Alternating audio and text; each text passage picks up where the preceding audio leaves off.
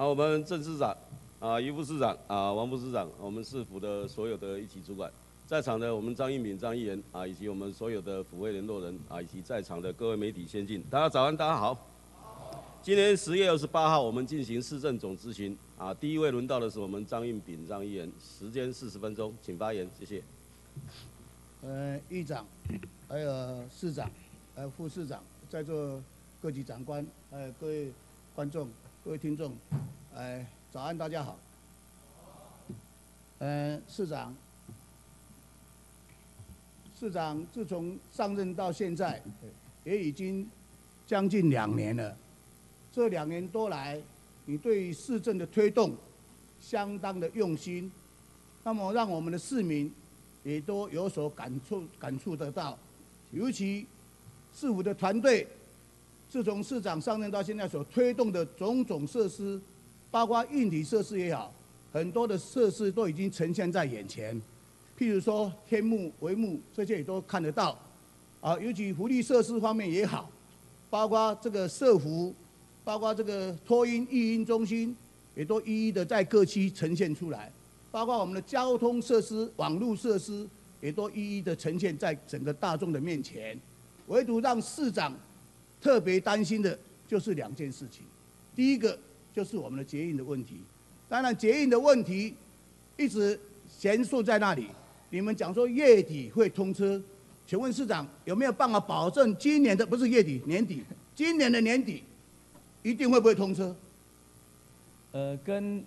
这个张炳议员说明哈，机捷的通车要经过那个高铁局跟交通部的最后的那个测试。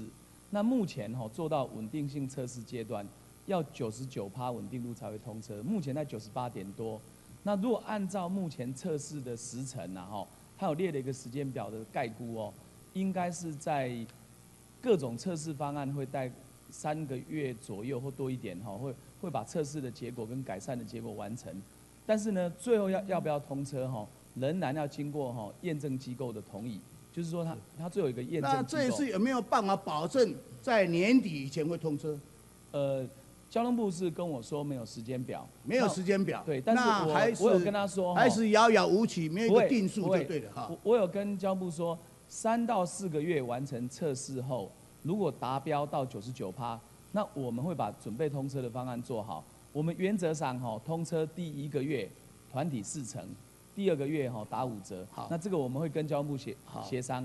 不过我想哈通车真的是快的啦。好，那么再来请教市长，有关于航空城，航空城早期的规划设计就是画了一个蛋在那里，对不对？知道吗？所谓的蛋黄跟蛋白。那么这一颗蛋，我时常在形容一个蛋啊，从它生下一颗蛋之后，你当要孵化它的时候，必定有一个时辰，有一个过程，对不对？对。那么这一颗蛋到现在，蛋黄跟蛋白一直在那里原地不动。我想这一颗蛋到现在也都变成坏蛋了，那怎么办呢？影响整个桃园市的发展，尤其航空城的推动已经享誉国际了呢。那你的看法如何？对航空城的一些进度及将来的未来的可行性？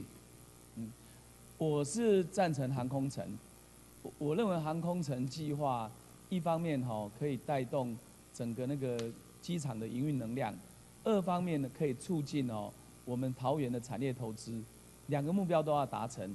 啊，目前哈蛋黄区就是所谓的机场园区，由交通部负责，蛋白区是我们市政府负责。那目前我们进入那个区段征收审议，那本来哈确实有一点，我们听证会结束后。那么交通部跟这个所谓的环保署哦有一点不同意见。那经过我跟他们沟通以后，目前部长已经决定了，他说哦，蛋黄区也好，蛋白区也好，即将进入审议。那我们针对哈区段征收的范围、底价地的比例，还有都市计划的调整，那这三个项目都报给报给内政部，即将进入审查。那审查的时间要多久呢？我想不管一年或两年，我们希望快一点。把它审查完毕后，后段就是后段都进入实质开发了。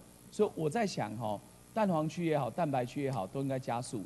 不过里面有个差别，蛋黄区哈是有第三跑道要做环评，我们蛋白区目前是没有环评的那个条件，所以蛋白区可能会快一点。那我们赶快继续加速，加速脚步，赶快继续往下推动下去，好不好希望能够早日完成。啊我我告诉不要内政部为了说桃园定案市很重要的这个航空城啊，啊闹得这样子满城风雨，大家哦两极化的评鉴，这个好不好？哦，航空城哈的计划应该是着重在整个整个这个建设的价值。那我们不要陷入哈过去的一些错误，好过去他们说什么不透明等等。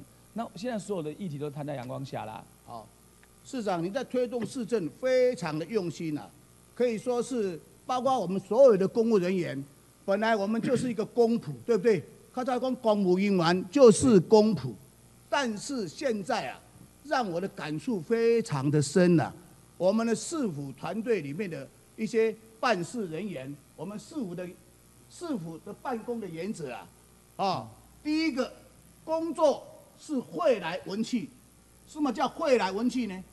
开会来了之后，用公文给你回过去，然后呢，迎来送去，刚刚压线的，请来，啊就给你上去，啊，啊就推脱啦，推来推去，解决问题呢，推来推去，拖来拖去，下级和群众只好听来听去，等来等去，单无人，单无消息。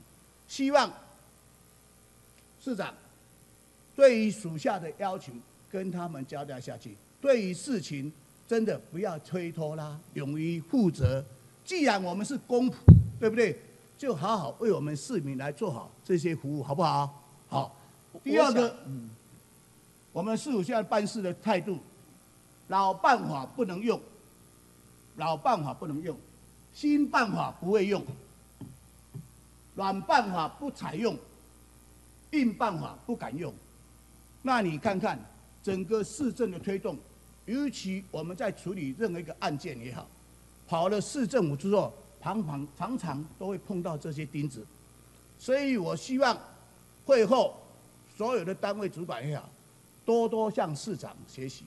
我们的市长说真的，每天从早忙到晚，从山上到海边也好，从都市到乡下也好，坊间都看得到你的足迹、你的踪迹，确实有在推动市府，对不对？像合宜住宅的过去，你现在改青年住宅，也都陆续的在推动，也解决了我们年轻人住的问题，种种的问题都在改善。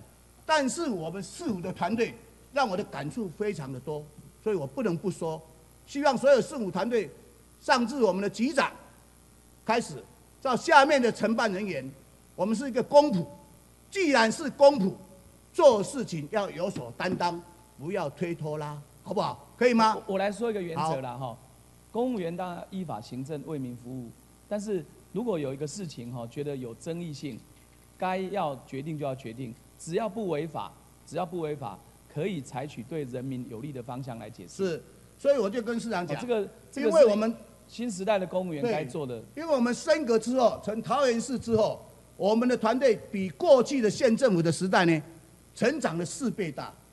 成长的四倍大的时候呢，每当处理任何一件公文、任何一个案子的时候，大家就推来推去，处理到最后，譬如假设一个都发案子也好，处理到最后呢，又要会农业局，等一下会哪一个局，会哪一个局，他不老实的跟下面的、跟承办的、跟这个这个乡亲们讲，这样子是不对的态度，好不好？行事风格态度一定要明确，要要求，希望我们的事务团队大家要勇于负责任，对于乡亲来处理案子也好，陈情案件也好，能够能够透明化、透彻化的，好好交代他们，好不好？嗯，不管哪一种申请案，受理的那个窗口，那有责任把目前府内的审查进度跟当事人说。受理那个，比如说这个案子如果是农业局受理，那即使会签到各单位，那个受理的承办人员跟科长要跟当事人说明。好，再来呢，我的感触了，看到我们的员工啊，我们员工啊，市长你也可以看得到，员工有六种，他的嘴脸你就可以看得出他的心态的问题。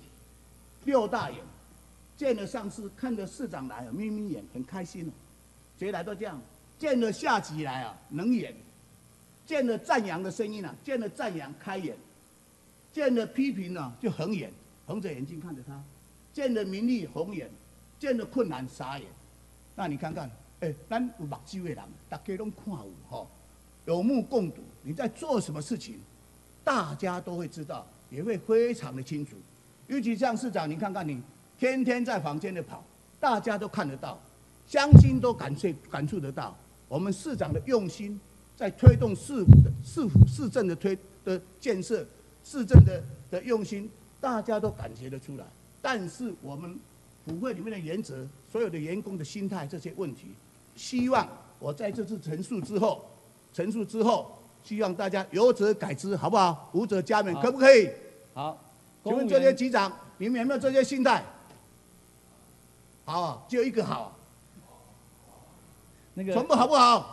议员，好好就好好就把它做好。新时代的公务员都不应该官僚了哈，有则改之，无则加勉。我我我想公务员哈要要用这个同理心的态度。对，所以我刚才跟你讲嘛，我们是公仆嘛，就好好做下这些事务嘛，好不好？好，接着下来，市长请教一下，所谓的浪漫台山县，对，浪漫的台山县，就是演你哈达影的精神。对，浪漫的台山县，总长一百一十五公里。经过四个县市，包括我们桃园市，对，起点从我们中丰路开始，是不是？对我们，他原来是讲说从龙潭开始，好，对，应该是从中丰路 A 二十一站那个地方，差不多从中丰路开始。啊，对。那我请问你，中丰路 A 二十一站开到中正路之后，中间一段没有中丰路，那一段叫中原路，知道吗，局长？还看到很多低坡下那中原国小那一段，接着接着到纵贯路、延平路、延平路上桥之后又中丰路，希望你们会后能够将这个中原路也去改为中丰路，这一条路就整个贯穿了，对不对？你知道吗？你们有没有去了解？请地完的你了解不？我了解，我们现在有很多路哈，不同段有不同的名称呐哈。那不过我们有通过一个道路命名的自治条例哦，要取得地方的民意同意以后才能够动。是，那那个就去了解一下，因为那一段路从 A 二十一站开始，这个叫中路。我知道中间有一段中原路。对对对，好，我希望有乡亲这样建议。那么所谓的浪漫台山线，你也知道，我们啊，我们的总统啊，小英小英总统啊，他已经走过几趟了，他也时常讲啊。这一段路经过，经过了四个县市、十六个乡镇，这条嘛叫做内山公路啊。内山公路。内山公路，内山公路嘛，用讲咱内山姑娘安尼你看看，很小很小，内山姑娘偌可爱。那么既然是内山公路，过去对带动我们客家人的精神、安家的精神，整条线沿着经过的四县市，四县市十三个乡镇、十六个乡镇。希望你们从起点也要有个表示，做出来给大家看看。没有乡亲感受得出来，什么叫做浪漫的、浪漫的这个什么内山公路啊？阿你了解不？局长，这个是总统的政见，那行政院客委会把它当做是施政重点。是。现在请这四个县市政府正在提案，那你你是不是给那个蒋局长一点点时间？那我请问一下啦，说一下有哪些项目内容？市长，这条路所经过的。几乎都是我们的客家区域的乡亲。对我请教一下市长，你你可不可以用用客语讲你的名字就好？做点晚餐。马干面啊？餐晚餐。餐晚餐。对。对对对，要讲清楚一点。有的听了是不是说餐晚餐不是餐晚餐，餐晚餐。餐晚餐。嘿嘿，好嘛。啊，光上的哈。啊，那那讲你讲不口音不是很正确的话，局长、市长的这名字客语怎么讲？汤文餐司哦，这个叫听起来多标准啊！你的他他讲的音比较标准。哦，这样子好，那你就把客语的精神、客港影的精神，然后好好的发挥一下，好不好？谢谢易座对那个我们那个客客庄那浪漫台三线的关心。其实我们现在桃园客家局呃桃园市政府团队其实非常积极，在争取台三线的相关政策。呃，我们目前是呃以平镇跟龙潭为主。今天易座的那个建议非常好。我们希望那个能够贯穿到中立，也就是最多客家乡亲的地方，让我们的台三线更完整。谢谢。好，市长再请教一下，至于地方的建设问题，也已经相当落实，也很多有建设答案都出来了，让我们感触很深哈。尤其呃，在我们中立区文化里这个一带呢，譬如像吉林路吉林二路也已经完成拓宽，将这个所谓的，呃，电器电线也好，都改地下化了，。嗯，电缆电线地下化，那么乡亲的好评非常的好，希望市长对，你也能够重视一下吉林路，那个是二路，吉林路我也提案了，对，能够继续来规划推动，一样让它像这样子能够做到四线道或者是两线道的拓宽更好。这一条路直直开下去呢，可以通到内定国小，接着文中路，然后直接开往高速公路上面，比吉林二路更重要。市长您的看法？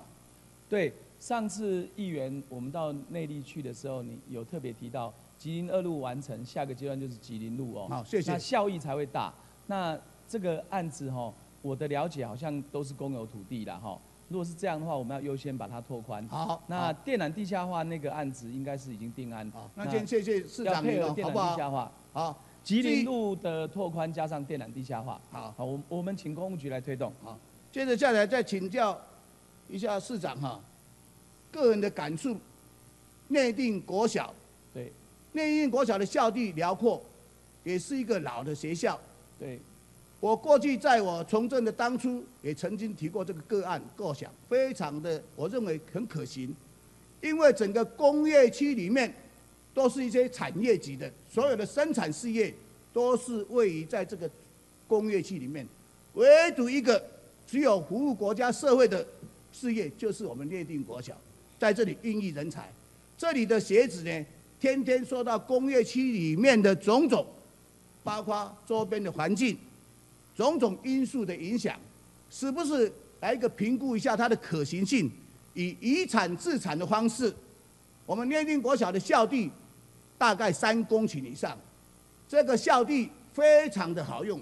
如果以遗产自产的方式方方式来研究这个迁校的可行性，将这一校也可以一为两地，整个内地你的腹地非常的辽阔，大旁边一边接着就是大园乡，一边接着就是芦竹，哎，大园区，一边接着就是芦竹区，接着是我们中立区，这一个里横跨着三个区，所以说如果这个迁校的可行性，我希望市长来做个评估的可行性，你的看法？好，谢谢张玉敏议员的建议哈，因为张议员也是内定国小毕业的嘛。对，那内定国小现在确实在中立工业区里面，那工业区毕竟环境负担重，那车辆也多，那确实有一定的冲突性，也有一定的这个风险。那不过因为迁校是大事哦，让我们市政府来评估说有无可能哦，刚您讲的遗产自产、以地易地的方式哦，因为附近哦仍然要找个，如果要迁校，要找个区位恰当地方，先建后迁。是才有可能。那附近的整个学区来讲，因为我看到附近比较适合的土地只有那个皮塘的土地哈是比较适合。那这个部分我认为哈，工业区里面的学校哈确实是一个大问题。我们政策如果评估好有迁校的必要性的话，那我请教育局哦来评估有无可能用内定里的那个皮塘的部分哈来考虑做社交地点。整个评估完了以后，地方意见沟通，家长、学校都表示都能够达成共识以后，我们再来推动。那不过呢，确实我们现在对内地国小的投资哦，也都有持续投资了哈。只是说它确实就在工业区里面。是是，我知道市长很用心，也有在推动所有的校务的推动。啊，前几天你也才去了，凤对梨教室你也都答应了，我们也知道，何非常感谢你，将军都了解的哈。好，我请教育局进入具体评估说哈，这种工业区内的学校，假如说长期的发展是不适合的，那应该要考虑哦，找适当的地点来做迁校。不过这个最好是评估好了，整个都沟通完了以后再确定。好还有关于环保的问题，市长请教你啊，局长也站起来，对不起啊。有关于环保的问题，我再次的呼吁，希望市府能够重视。市长，我们的回馈设施里面也好，包括我们乡亲里面对我们桃园市的整个环境整洁环保的工作的付出也好，都是有成的，大家有目共睹。尤其受灾受难的都是直接的周边的住户，那么很多政府的承诺都没有一一去实现，实行到现在已经也十五年了。个人要再次的呼吁，第一点，我要请市长能够重视地方百姓的生命财产的问题。第一点，现在要接着契约的问题的时候了。我也曾经提过案，也希望市长能够重视。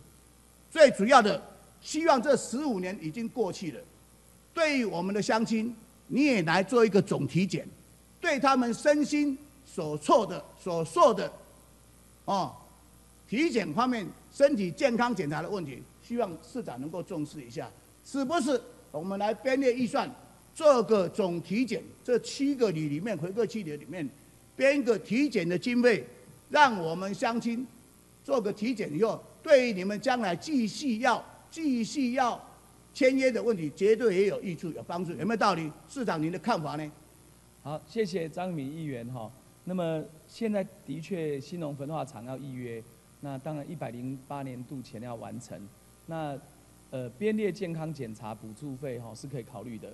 那那个我们用补助费的方式给那个回馈金，其实它数量快。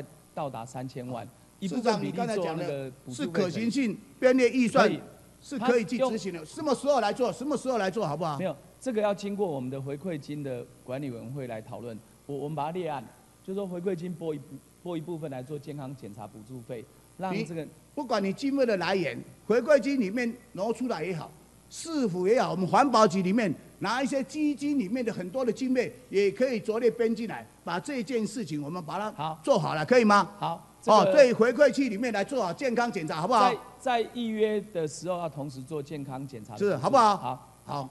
那么请教一下哈，局长啊，市长请坐一下。局长，这个就是我们的回馈设施，是，你很清楚。嗯，我也跟你讲过 N 次了。嗯，我今天不再不提出来讲。嗯，这一次一栋大楼花了一亿约一千七百万，那么这栋大楼到现在也已经。有的地方也已经剥落，地板也已经有的呈现龟裂的地方，你们要去了解，实际了解。我也在跟你一再的跟你提醒，你们都不去注意。像里面的，里面的这个叫做厨房啊，现在变成库房。里面的厨房花了一千多万，讲到公益教室，讲到什么才艺厨艺教室，厨艺什么？都没有去使用，到现在还荒废在那里，变成一个仓库。你有没有去了解，局长？那你看看你的心理感触如何呢？是不是这样？当然，当初的盖非常的好，讲的非常的好，要回馈乡亲，结果现在变成一个仓库房，整个仓库里面呈现这种乱的现象，希望。个人在此呼吁之后，能够去重视这个问题。既然是厨房，你就要做厨房的的使用。还有旁边的停车场，停车场放在那里不停车，我请问你这是什么意思？我也提供你跟你讲，就算提供出来给内定国小的老师，他们上课的时候能够集中在这里，也很好用啊，连着相亲去使用。你们天天。门禁伸手，不去改善。尤其我在跟你讲，局长，你们那个李科长，你真的要给他换掉。你们李科长，局长听了，局长听了，上班时间去啉烧酒，警察局也去做笔录，你嘛唔敢处理。咱台湾政府啊，新加坡迄个、迄个、迄个，新加坡那个派驻那个特使啊，去餐厅吃个饭都这吃。特使都不能干了，其中你咋解的不？他真的对于我们的推推动很多，我今天必须要把它拿出来讲。尤其再来一点，最近呢，我今预算书都还没看，绝对你爱处理哦。预算书我都还没看哦。像现在的游泳池的回馈设施，游泳池的回馈设施，包括里面的游泳池，我们议会刚通过。管委会通过依我们的依服法纪制第一零五零二零三一六三一号函写的很清楚，本市文化乐色文化厂回归期内的里民出示相关证件一律免费，一律免费。我请问你，现在他们又在又在里面玩什么把戏我不知道。你们的科长还跟他们讲，明年还增加一百万，我预算都还没看，他们都已经知道。我请问你，这已经讲得很清楚了，你一直在讨论有什么意思呢？你今年才实施，上个月才实施，我请问你局长，是不是继续免费让这些乡亲免费使用？一直我可以简单回答我，直接回答我就好。是好，那个回馈设施本来就是希望给我们内定里还有相关的这几个里都可以来使用，所以我们本来就希望只要涉及在这个影响区域里面的里的里民都可以免费来使用。好，设是不是继续免费使用？是是是是哈。是，好，你就记得不要再讨论这个问题，好不好？回馈金里面的游泳池，跟你做报告哈，刚刚您所关心那几个问题，包括停车场的使用，包括餐厅的使用，当时的规划。那其实我们知道最大的使用的的单位应该就是内定国小。那我们也问过内定国小的老师，他们并没有停车场的需求。呃，委员会里面也讨论这个议题，餐厅的部分也是考虑到我们的学童，他们是不是会有呃游泳课的时候去吃这个垃圾食物了等等这些问题，所以我们也不提供贩卖，这是校长的要求啦。我是我是叫依照我们是不是在委员会里面我们都有讨论过这些议题了？好，谢谢谢谢局长你了。记得我刚才跟你再次的提示哈，希望我今天总执行之后，你就正式的文汇下去给他们。一律免费，好好不好？我们经费你去征询他你要去嘿产学，你要去怎么做？那我们不去过问。至于要不要分摊摊体的问题，我们也不去过问好。乡亲要知道的答案就是免费。既然政府的政策公文也都有了，老师还在谈这个问题，那就是真的不应该，是不是这样？因为我们再回答一次，局长，是不是免费？跟一做报告，因为我们希望它免费，所以我们有一个不是希望，是不是免费了？不要希望。跟一做报告，因为它有法定的程序，有一个收费办法，收费办法必须要修正。那收费办法目前也送到我们的法制局这边。我不是跟你说的很清楚吗？你这个公文正式公文都 都来了，还在周边相关法令，这里面都有了，已经也跟依依照法。你再不这样子你再不处理的话，我告诉你，我们是依法行政啊，一切依法行政啊，这个秉公处理啊，秉公处理啊，，我知道啊依做秉公处理，好不好让？让我们完成这个法治程序，我们这样也比较安心呐、好不好？当然安心啊，我也没有叫你违法，是你依法行政啊，公文都有了。再说一次好不好？好是不是免费？我们完成法治作业，我们我们就是要你让它免已经完成。了，听不懂。现在现在就在免费了，你听不懂。现在就在执行中，也就是免费的。现在是这样子，现在是影响区域回馈区域的那个里里面有不同的领，只要是有零补贴的领是免费，那不是零补贴的领是要缴费的。那我们希望整个里都免费，所以我们要修改这个收费办法。那是我知道你讲的是那个区块，不是在回馈区之内。有的里不是在回馈区之内的里，是不是它周边的纳进来？这个是另外一个议题。是现在是针对里面有的就是免费的问题，免费是不是免免费？免费好，免费记得哈，不要再讨论这个问题，好不好是？哦，好不好？是。哦，记得就这么讲，好不好？好，再来呢，请问一下，那个都挖局、呃金挖局，啊，局长请坐。有关于有关于长生电厂的回馈金的问题，长生电厂回馈金的问题，当然局长你刚来上任，我时常讲的长生电厂中立区所经过的区域，就是由中立工业区出发，沿着沿着第一站就是经过内定国小。内定国小过去横跨以后到高速公路黄前溪旁，这是一个转转运站、转运转运柱子，在那里以后就直接进入芦竹区。所经过的区域没有错，这里这个地方都叫内定。我不曾，我一直呼吁，它主要就是以这个回馈区，如果以整个配置分摊来讲，内定国小也要优先处理，有没有道理？尤其内定国小是一个事业单位，都是为国家社会在做事情的。我不曾看到你们正式的编列说长生电厂补助内定国小多少钱，你有没有看到？呃，不好意思哦，我想这个部分的这个补助哈，我们是可以来来探讨的。这个是不要你也来探讨，他也来探讨，谁也来探讨。张局长的时候也讲来探讨。我刚才不是跟你们讲了，你们这些公务人员的办事吗？你们天天在探讨什么了？清醒一点好不好？给他就给他嘛，九百多万，每年就内定国小，他也是造福乡亲的地方啊。所有人内定你的学子都在这里念书，你要百分之三十留在这里学校做任何的费用，就留下三十，其他的做什么使用？你们要有这样的认知嘛？有没有道理？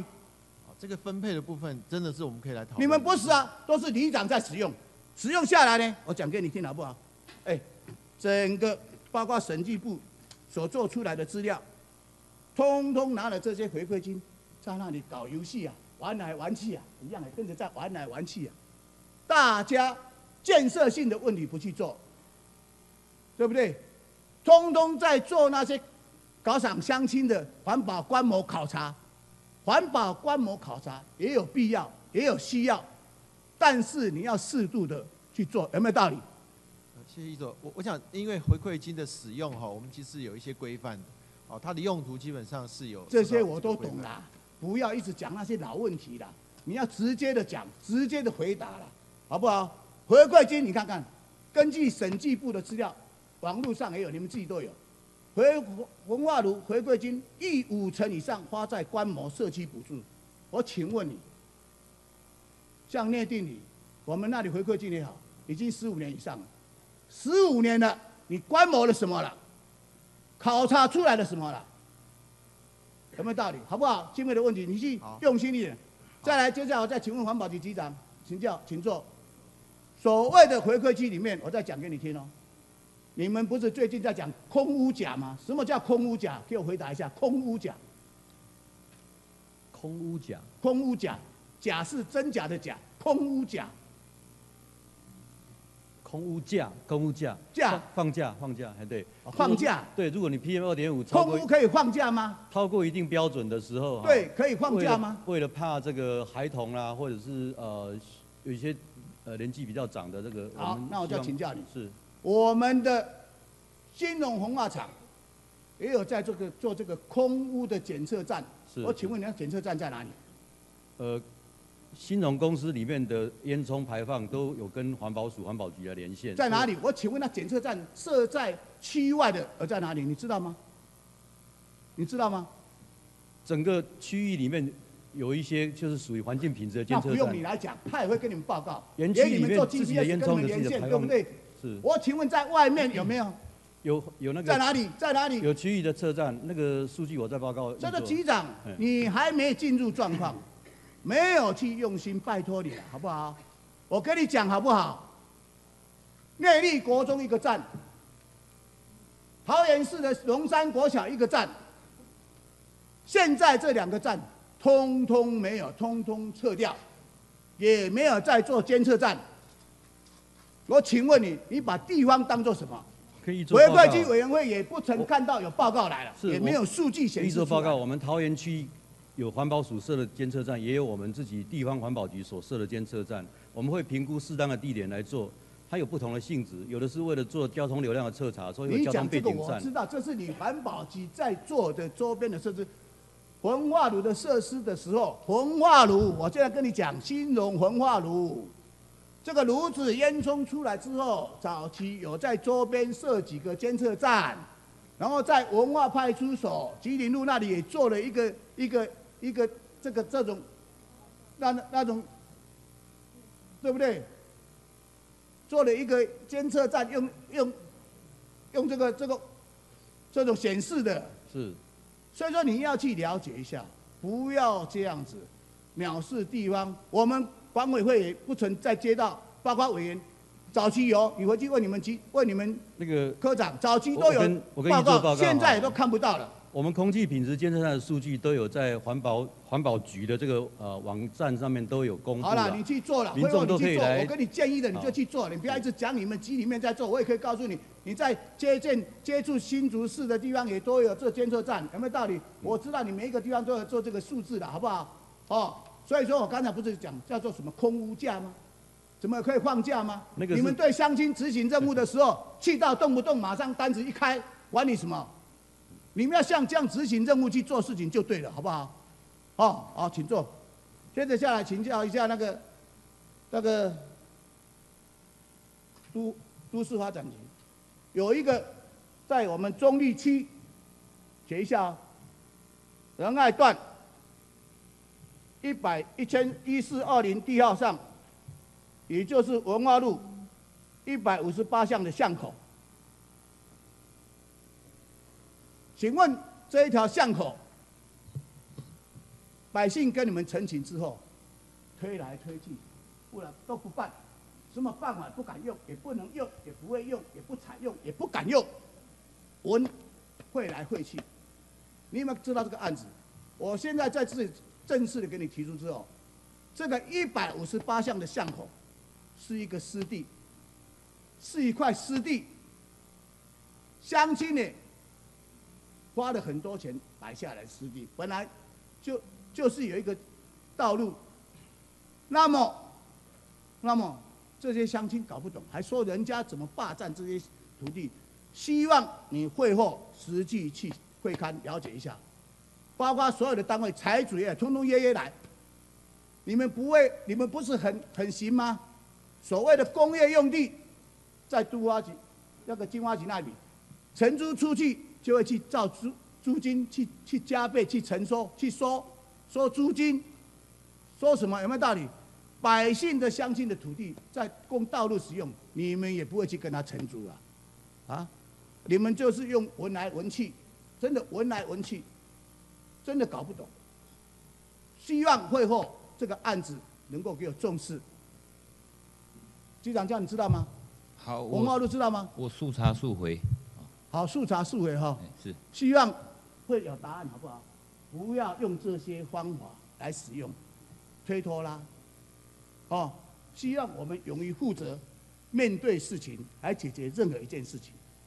向你们的市长看齐就对了啦。市长怎么做事，你们就怎么做事，不要跟在市长旁边，天天大家才只知道这样子，这样子，这样的看到市长来就眯眯眼，不要啦。市长知道你在做什么，你们都在做什么了，好不好？这样了解吗？好是记得这个案子，会后马上去执行，来去做，好不好？好，谢谢。接着啊，有关于周边回归局长、环保局长请教一下，回归设施周边文中路土地再利用的问题，这已经探讨了很久，到现在没有一个真正的单位勇于负责。每一个单位市长来开会，开了很多，我也参加这好几次，希望你们能够重视这个个案。这个个案从金融还没进场之前，他的说明会瓦换铁的时候，也跟乡亲说得很清楚了。你们现在一一的回答，这边叫做特定农业区，不能做任何使用。那我请问你，现在那边的土地都在做什么使用？局长，你知道吗？知道知道做什么使用？回答嘛。是有一些，当然有一些是可能做一些工厂性质的的使用啊。做什么使用？讲工厂性质预做报告啊，你也很清楚这个案子哦。很清楚哈、市政府这边也组成一个专案在处理，这不是环保的，不只是环保的问题，在跨地目的使用等等。一说你也晓得这个部分也都有跟你报告过了好哦。这个市府这边有一个专案小组，它有农地的问题，它有一些呃土地分区的使用的问题，不可告人的没有不可告人啊。啊那我请问你，早期主政者，也就是我们的副总统李秀莲，信誓旦旦的承的跟乡亲讲，这些周边的土地会以高度的再利用。我请问，什么叫高度的再利用？到现在呢，你也不好意思说，你也感触得到。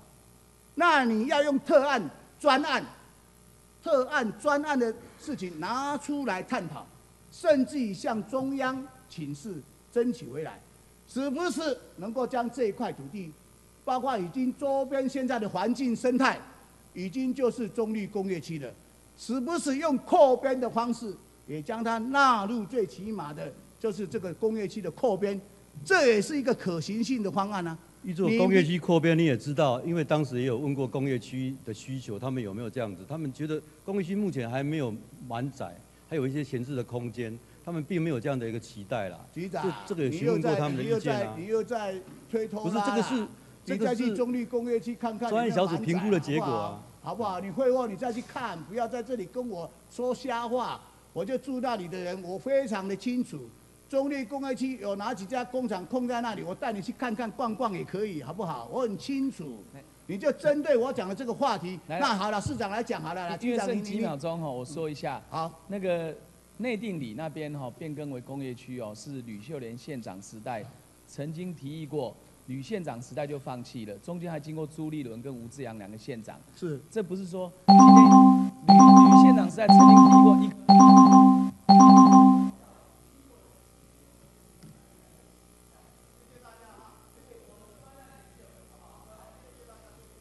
谢谢，请坐。啊，接下来我们请方刚祥翻译员啊，以及彭俊豪彭议员共用四十分钟。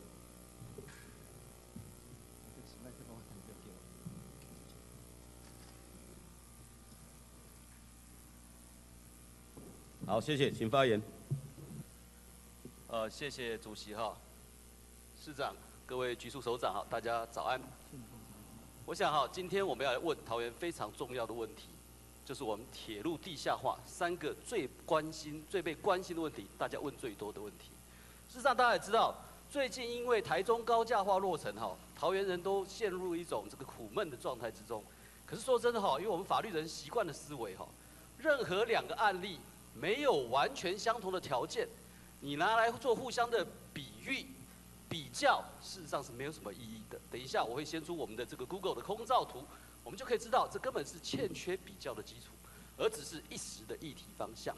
可是呢，这样的一个问题，为什么在我们桃园的政坛会变成长期一个笼罩的问题呢？我觉得我们在城市发展、景观以及环境品质的方面，事实上地下化是最佳的方案，这个几乎是没有疑义的。可是有三个问题，我们一定要交代清楚哦。那我在这边，我也要跟各位说明一下。事实上，从政将近两年多以来，我常常有一个很深刻的感触：政治的整个风向，很多人物会去造势，利用一时的议题，利用一时的氛围，造成某种疑问，造成某种怀疑。那么，尤其在今天台湾蓝绿对立的状况之下，大家很习惯有立场，可是说理不清楚。所以，市长。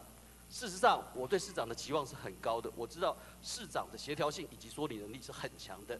那么我在这边还是要再强调一次：一个论证清楚的道理，就是一个扎实坚固的碉堡，它是屹立不摇的，它可以长久镇守在一个兵家必争之地。不管你怎么争执，一个对的道理，它就是会屹立在那边，就不必担心欠缺实质理由的这个意见。所以潮来潮往，我们不必在乎。问题是你自己有没有提出足够坚强的理由？这也就是我今天要讲的这三个问题。首先，我们来看空拍图哈，各位哈，这个其实现在很简单，你 Google 哈，你去拉去那个台中那个地方哈，你把那个铁路高架化的沿线你去看一看啦，很清楚。台中的路廊是可用路廊是六十到八十米，是在这个红线的部分，建国路就这么宽了。建国三路也这么宽，我们真正铁道，事实上铁道真正需要运行的这个空间大概是多少呢？铁道真正需要运行的空间大概是二十米左右，加上临近的必要的部分是二十五米，二十五米的路廊。那么我们从台中的路廊，台台中空拍就很清楚嘛，它是这么宽阔。这是一个地方，不管你拉到什么地方，你在台中市，你就可以发现这就是六十米到八十米，也就是说它的必要路廊。只占实际上可用路廊的三分之一，这个在环境品质上有什么重要性？代表它有一定的隔离层，你可以用绿树，你可以去衰减这个噪音，你可以去衰减这个空气品质的污染。另外，在景观上，它的震撼性也绝对不是这个样子。好，再一张。再过来，这是我们桃园市我们可以看到的路廊，我觉得这非常清楚嘛，因为你去 Google 看一看就知道了。也许不是每个地方都是这个样子，可是基本上我们能够征收的范围，以及我目前所了解的定案，我们的可用路廊就是二十五米。这是绍兴街附近、桃园火车站附近的这个地方，我们可以看到非常狭隘。这有没有征收的可能性？事实上，我们都知道为什么桃园的铁路高架化在之前定案之后就延迟这么久，因为之前定案之后，我们发现原来预计的征收的宽度是没有办法执行的。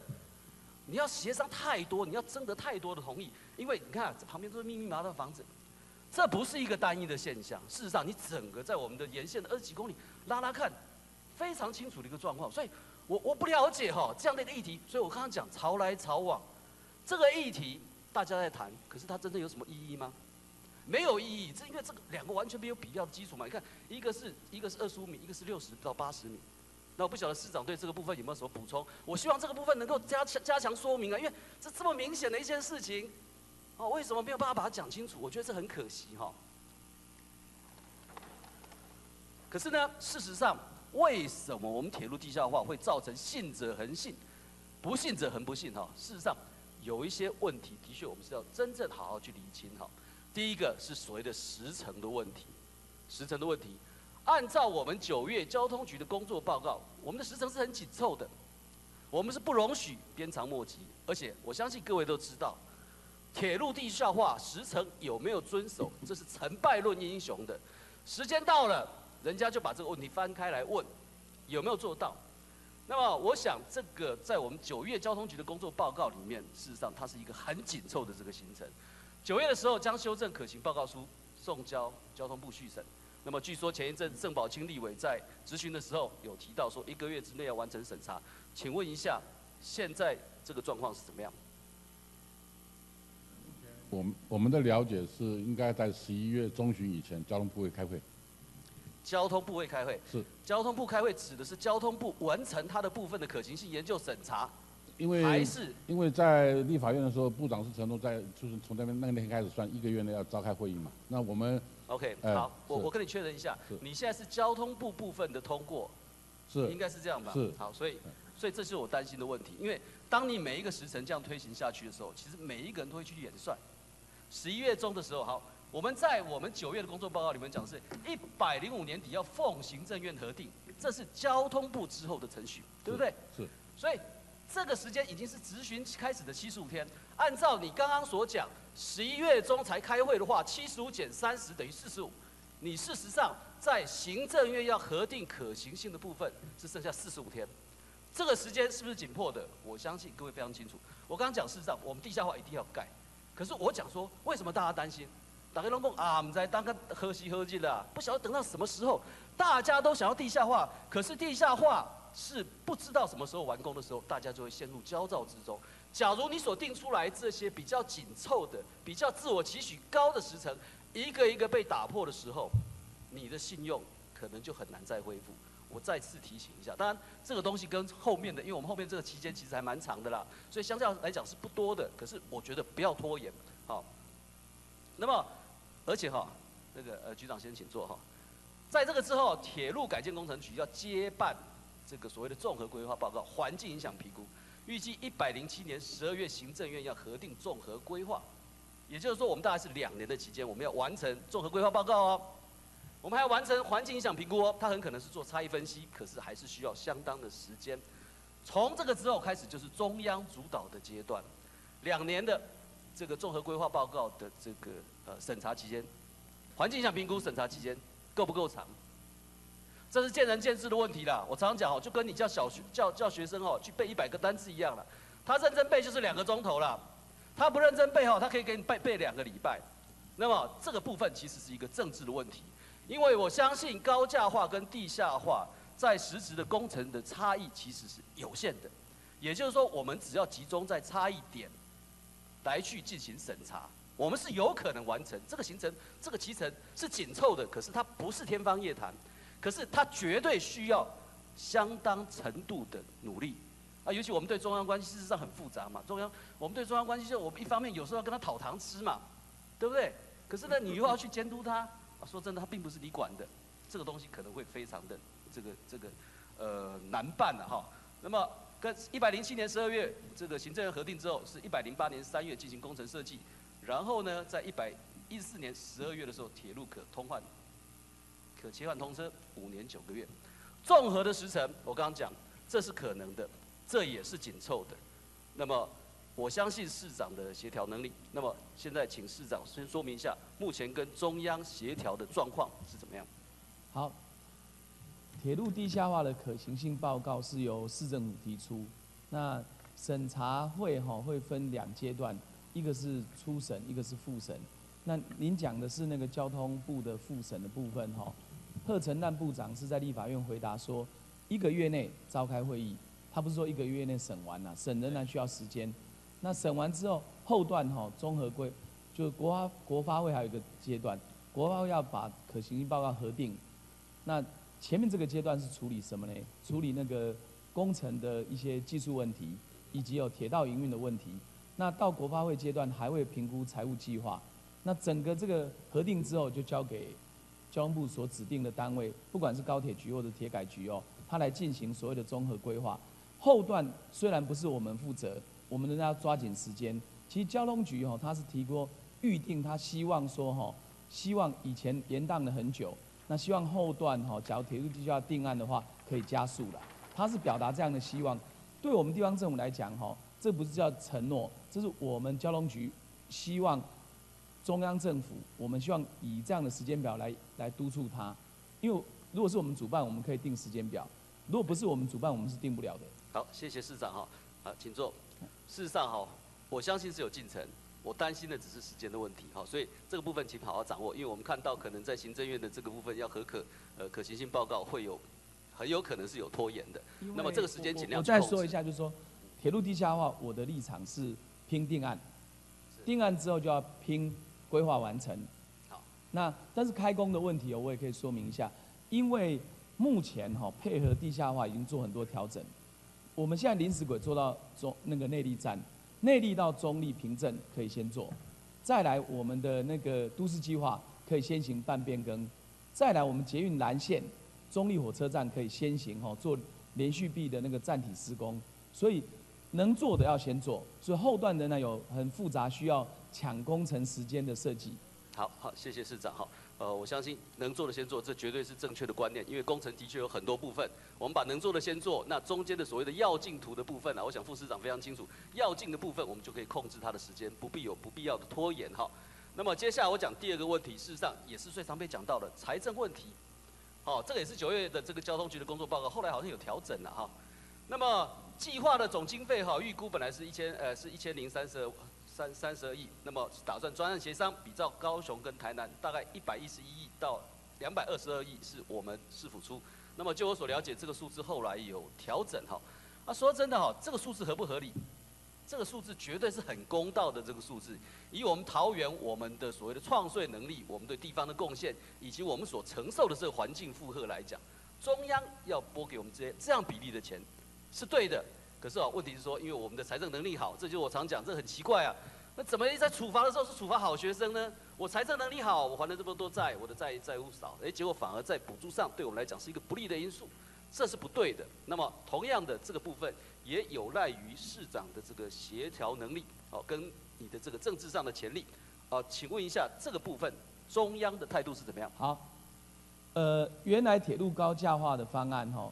在还没有包括平镇站的阶段是三百零八亿，桃园县政府承诺要编一百零一亿，那这个数字蛮高的，大概超过三成。那事实上也到到现在两百亿的到一半了。呃，三百零八亿我们要编列一百零一亿，这是高价化的方案。但如果加上凭证站的五十亿哦，可能还要再拉高。那地下化的方案哈，按照按照铁路的立体化的作业要点哈，我们分担率事实上是会很高。所以我才会采取专案协商的方式。那目前哈高雄它是分担百分之二十五，那我想桃园的财政水准哈事实上要低于百分之二十五不可能。那我有私底下问了问了一下国发会的意见，那么他们是倾向于以高雄的标准来协商。那我们总经费原来是列大概一一千零五十亿左右，但是因为扣掉新北四段，所以应该会到九百五十亿。那九百五十亿的两百。百分之二十五了，应该是两百多了哈。那我们会再把这个我们所谓 TOD 方案，把那个联合开发跟湿地重化算进来。那这个部分会会降低我们的财政负担。以后有的钱是等我们开发完了以后再挹注。所以我想哈，站在桃园立场，我们低于高雄是不太可能。低于高雄，我我认为不可能，因为他他不会让我们过。好，好，谢谢市长。所以我们要有心理准备，就是说九百五十亿的预算。我们可能会负担到百分之二十五或者多一点。好，那这个这个我也借着机会跟议员来说哈，机场捷运一千两百亿，这千亿工程。立线捷运九百八十二亿也是千亿工程，铁路地下化这个大概九百五十亿也是千亿工程。其实桃园在这几年是是有三个一千亿的工程在桃园推动，这个都是都是我们地方政府单独无法处理的，所以我们一定要想办法，既要争取成功，又要减少负担。好好，谢谢市长好。啊，所以哈，目前当然我们没有办法跟高雄，呃，高雄会是我们的最最底线的原因很清楚了，因为高雄的外债哈，它的债务是很高的，是两千多亿，所以这个跟我们大概要再比它低，我相信是有困难。那可是我想中央也应该酌情考量，因为我们既然有三个千亿工程，我们未来可可能的财务负担是非常高的哈。那请市长再再努力，好不好？好，我我们将来哈，议议员也了解，我们将来桃园桃园哈，我可以稍微说明一下，台北新北的铁路地下化花了一千五百亿。可是他们他们是连开的效果不大，因为他们没有地。那高雄跟台南有地，价值比较低。不过高雄也花了很多钱，他们左营段哈也花了好几百亿。现在要现在他们要申请凤山段，对，高雄车站就要花五百亿。所以我在看哈，我们的桃园站、中立站要做联合开发，有它的效益。那另外我们的区段征收区哦，或者从化区哦，国际站、永丰站、平镇站都有效益。我我是认为要想办法把这效益稍微拉高一点，那以后挹注这个成本。好，谢谢市长。好，事实上就我所了解，我们在自偿率的计算，好，原来是百分之六的自偿率，那到最后超过百分之二十，那基本上这个就反映出我们自己筹付这个好财务上的这个支付能力的一个指标。事实上，这本来是我在后面要讲的啦。好，那这个东西能够提升，事实上就代表因为。这个财政上能够确认一定承付的自自行偿付能力，也就是整体效益的这个间接指标嘛。那所以智商率的部分，那因为时间的关系，我事实上大概还有十分之九的投影片还没有讲哈。OK，那我们就不多说了。那其他部分哈，我希望在效益好，不管是可以量化或者很难量化的部分，我需要去着重说明，因为事实上我们效益也有很多嘛，平交到撤除的效益、土地增值的效益，这个东西部分反映在自筹率上。哦，对不对？市场率上，还有新建新辟道路的这个交通效益、空气污染、噪音或者景观的这个效益，这个其实难以难以计算的，因为你站在那个高架化二十五公尺，就大概是我们这样看着这个屋顶的这个高度，差二十米跟这个多，这个在二十米这个旁边，这个是差非常多的哈。那我希望在市政府这个部分可以量化的尽量说明，好不好？好，谢谢。好，那这个我就尽量讲快一点了哈。中油哈，中油事实上占我们这个它的算是我们桃园区的一个主要的这个工业。那么事实上哈，它对桃园有相当的影响。那么以现在的空气品质标准，我想沈局长很清楚哈。我们一百零一年五月的时候，我们有颁布所谓的细悬浮微粒的这样一个空气品质标准，这是一个进步。可是这个进步的结果是导致什么呢？好，麻烦请翻下一页。这个进步的结果，因为它二十四小时的平均值是三十五微克每立方公尺，那么这个标准以桃园来讲，或者说真的讲快一点啦，根据过去的统计啦，是全部的台湾西岸都沦陷的，全部台湾西岸都沦陷的。那么我翻到昨天，昨天八点的时候往回溯的二十四个小时的所谓空气品质的这个测站的结果，各位看到这一条橘红色的线。是我们容许的二十四小时的空气品质标准，也就是三十五。在昨天八点之前回溯的这个二十四小时里面，只有两个小时是符合这个标准的。我们的细悬浮微粒的这个部分空气品质标准是不符合不符合的。那我再告诉各位，我还来不及做图的一件事情，是从今天早上八点开始回溯二十四小时，是完全不合格的，是二十四个小时全部都是超过三十五，都在四十以上。好。也就是这样一个发展的状况，让我们所谓的西半部的县市，从一百零一年增加这个细悬浮为例的这个品质标准之后呢，从原来符合空气品质标准的二级管制区降为三次三级管制区，那这个意义是什么呢？这个在法令上的意义就是它能不能按照空气污染防治法第六条，去要求寄存的固定污染源去进行减量，寄存的要减量。那么新增的话，假如到达一定规模，它是必须要采采用所谓的最佳可行控制技术。我想局长非常的清楚。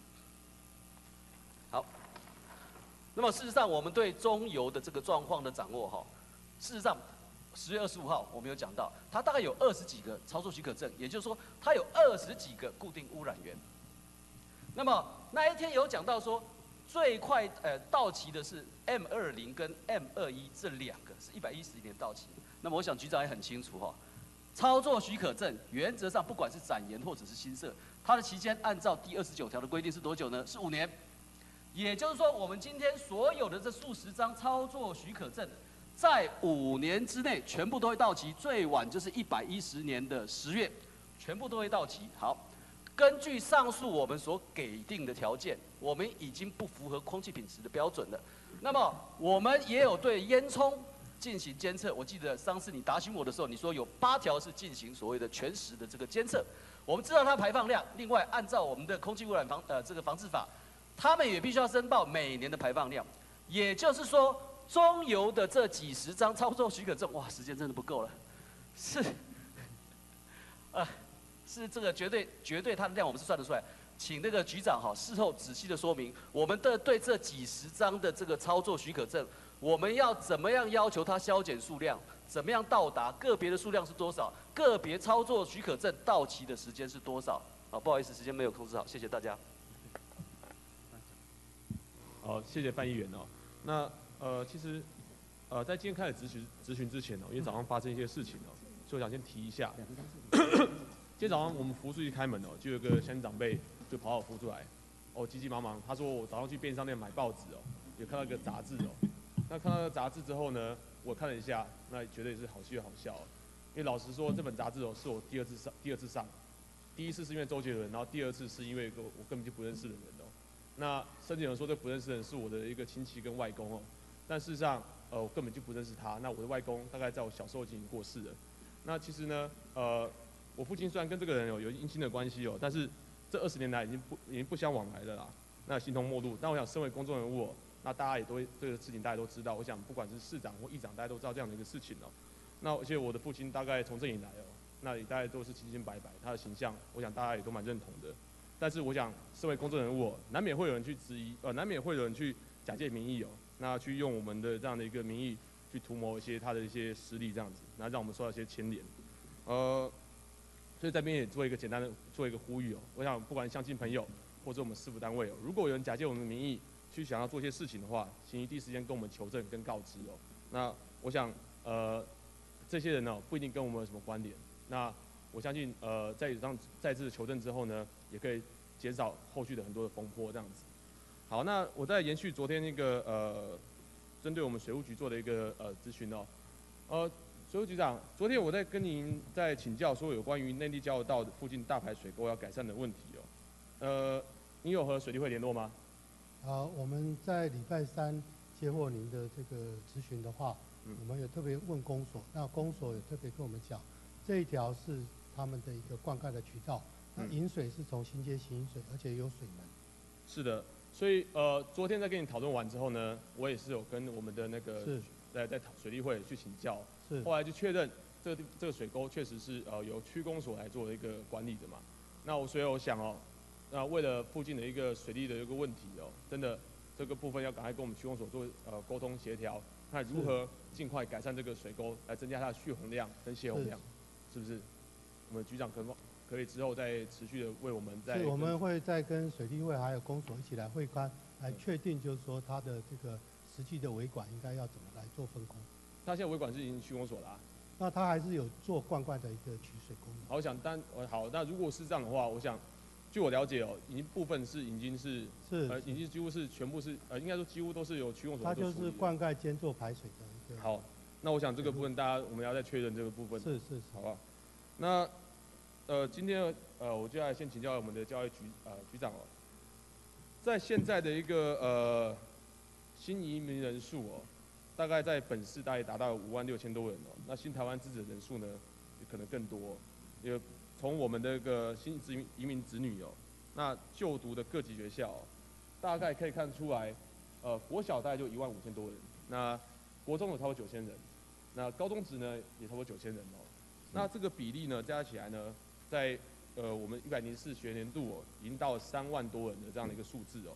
那我们的教育部呢，在一百零七学年学年度开始哦，也将开始每周一小时的国小母语必修课程，除了原本的一个闽南语、客家语及原住民族语之外呢，也将纳入新著名的语言哦。这是希望期待新住民子女学习上面呢，也可以认同我们的一个呃父母辈的母语，所以说也是希望给这些朋友一个更友善的环境哦。那我想请教我们局长哦，我们是是我们本市哦，对东南亚这种新住民语的一个师资培育与认证，目前实际的进度为何？这样。呃，跟易做报告哈，那我们教育局今年办理已经办理了四个梯次的新著名语文教学资源人员的培训哈。那么其中语文教学真能研习跟语文教学资源人员的研习各两个梯次啊，开班数应该是全国最多的哈。那么我们今年预定要培育有两百个新著名的语文教学资源人员来协助新著名的语文课程能够顺利实施。那另外哈。那我们市政府跟本地的三个大学，哈，就是中央、原治跟中原三个大学已经有签约合作，哈。那目前，呃，我们去协商的结果，哈，那中原大学在推广方面，哈，这个新著名语的课程呢，可以说是最为完备，哈。那我们目前已经也有在中正国小的新移民中心已经开设了这个新著名的语文的课程，哈。那如果说将来还有进一步需要这个师资培训的话呢，那我们会积极的请中原大学来协助哈。那另外一方面，在新著名母语认证方面呢，现在教育部已经委托高雄大学呢来进行规划新著名的母语认证的问题。那这个也会呃加速将来更多的老师会有第二专长的实现。嗯哼，那所以在一百零七学年度开始哦，应该就可以把各级学校的这种。新著名语的这种师资把补足了吗？我们是希望在一百零七年实施之前，能够完备我们新著民的教学人才。好，我希望说我们可以教育局可以努力的达成这个目标哦。是。那毕竟未来东协十国是有一个非常大的市场跟呃成长的潜力。那现在中央政府呢，也是在这样的南向政策，那投入了蛮多的一个资源哦。那但是呢，在目前的桃园市，多数的一些新住民哦，都是从事一些还是属于比较基层的一些工作。或者是不属于夫家的工作，是我觉得比较可惜。如果市政府呢，在各级学校的教育之中哦，那在培训上面，那真的花我们很多心力去达成的话呢，我相信可以更促进那个族群上的一个和谐融合，那也是在提升我们下一代的竞争力哦。那我想除了师资的规划之下呢，呃，在新住民照顾上面，那民政局已经成立了这样的新住民的一个啊教育讲请坐啊，我们是不是已经成立了新住民的委员会？是委员会嘛？定期会召开嘛？那未来有没有什么样的计划，或者对新住民有没有计划做什么样的照顾，或为他做什么样的事情？我想这个整合各个局处的业务，那民政局这边新住民事务的委员会会把呃第一次的会议会把这个究竟要成立什么样的一个专责呃单位，我想我们那个时候第一次会议就会做决定。好，我想尽快那个呃尽快这个呃让委员会可以召开哦，那让。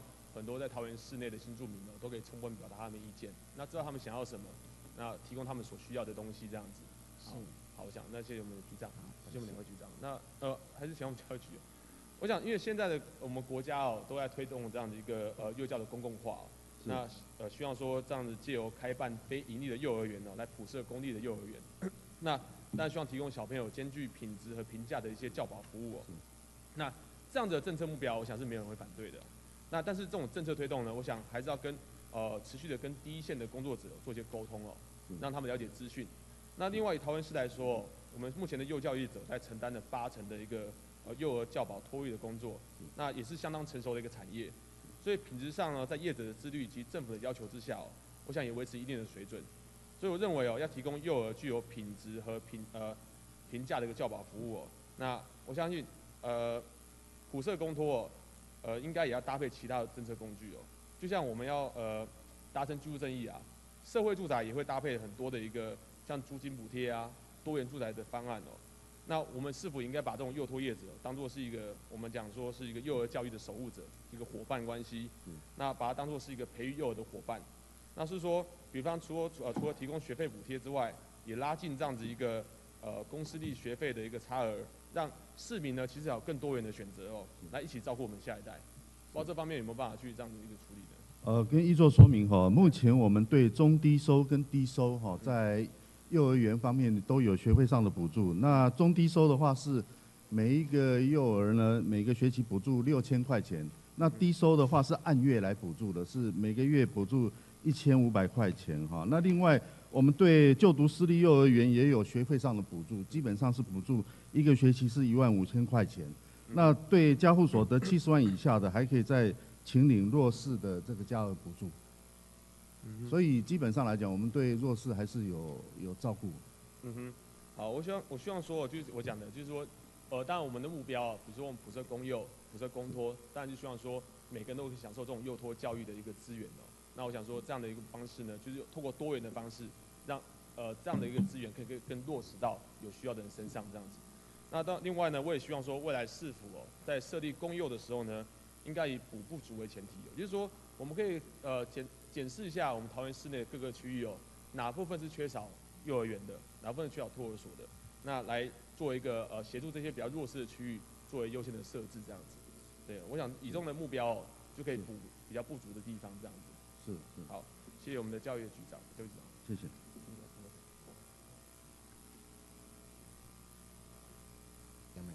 好，谢谢哦。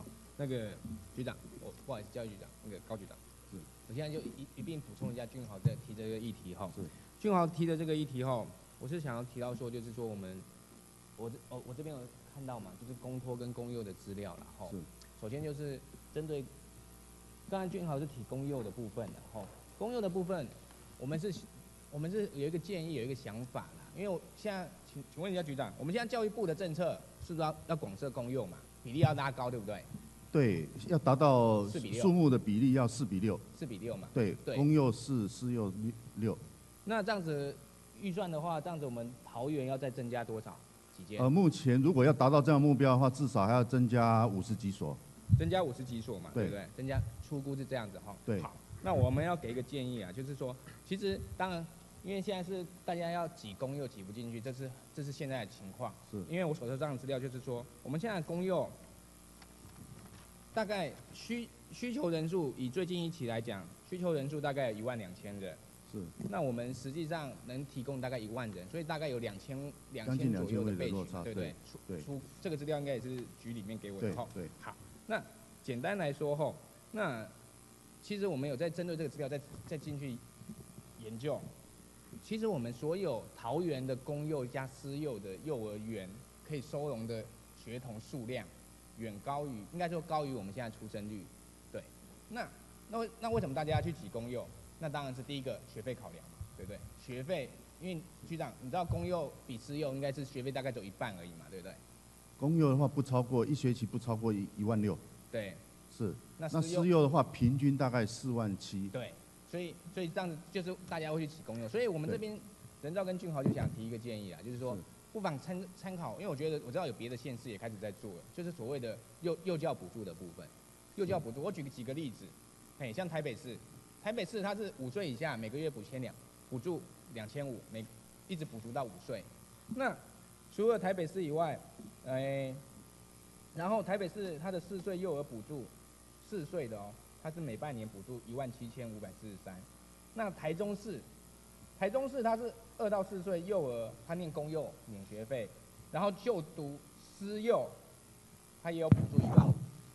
所以，我我跟俊豪想要提的部分就是说，我们市政府、我们教育局是否可以往这个方向来考量？因为因为我们现在所有的福利政策，三岁以下每个月三千块的津贴补助，然后我们这样子，所以大家可以看到我们的生育率现在是全台湾最高的，我们生育率是增加很很多，所以。在台桃园，大家年轻人愿意多生小孩，敢生小孩，是。那我们市政府应该给他多一点补助。那我们现在福利政策的缺口，我们我们两个再研究一下，大概就是落在三到五岁，这这个部分可能会有一个缺口。因为大班以后，补助一万五，这个是中央的政策，所以这个我希望说，我们的局长啊，我们的市政府，哎，我们的市长可以来往这个方向来努力。是否来可以研议一下我们的幼教补助这个津贴的部分？好，那我们教育局根据易座的建议哈，我们先测算一下，看看需要多少补助。好，好，谢谢。好，那继续哦，就是说呃啊局局长请坐，那请我们的卫生呃局那个副局长。那其实哦，其实今年因为长病毒七十一型的流行哦，其实卫生主管单位像如临大敌哦。那我想在防疫上呢，都从严的去审视。我想在防疫系统作战的前提之下呢，我们对主管机关的用心呢，也是非常肯定哦。呃，但事实上也需透过大家的配合哦。那面临这种长病毒七十一型的这样重大的威胁哦，那也很感谢哦，在大家的这种呃关心之下，其实在桃园并没有发生太严重的案例，我想这样成绩是呃是很不错的。那在这样的成绩呢，其实也是许多的业者、幼教业者他们共同的努力来承担，从呃得到一个结果嘛。那我想，因为 在家长啊和这种主管机关之间哦，其实他们像是个夹心饼干一样，因为他们可能要接受家长质疑说哦为什么要停课？那为何不收小朋友？那停课之间的学费呢也必须退费。那所以说对于一个呃对于这种从事幼教教育的人呢来说呢，其实是一个莫大的损失哦。那再来呢，哦，我觉得对他们来说还有一个很大的困难点哦。其实，呃，一般的幼教业者他不太具备说所谓的医疗专业，那也不具备所谓调查权，啊，但是呢，可能要负担负担起所谓的一个通报的责任哦。那他们也要如何去分辨一般的发烧啊或疑似的案例哦，呃，要他们跟家长说明，对他们来说其实也是一个蛮大的困难哦。那在没有医疗专业的之下呢，有时候家长也不一定能接受，所以想说针对他们的损失哦，他们的困难，或者比如说他们的一个呃。的那种停呃停班停班这种损失哦，那有没有什么样的实际的作为来作为呃协助他们的一个方式呢？诶，谢谢易座哈。那当然针对肠病毒的部分哈，那诶也非常感谢哈一座长期关心这个议题。我想说在局里的部分，诶除了我们大概会有做几项的诶比较实质的一个政策哈，就是说我们针对儿童在游戏游戏场所以及所谓的。包括洗手设备，我们会加强加强的哈去稽查，帮加强的辅导。另外也会透过幼教协会，哦，因为说真的，只有局里的卫生局的网页的公告，我们整个疫情之外，我们也会透过透过整个幼教协会来协助哈，很快快速的传达这讯息给我们的幼教业者。那第三个，我们也加强整个我们医疗体系的一个通报的好一个机制。那当然在目前我们桃园来讲有。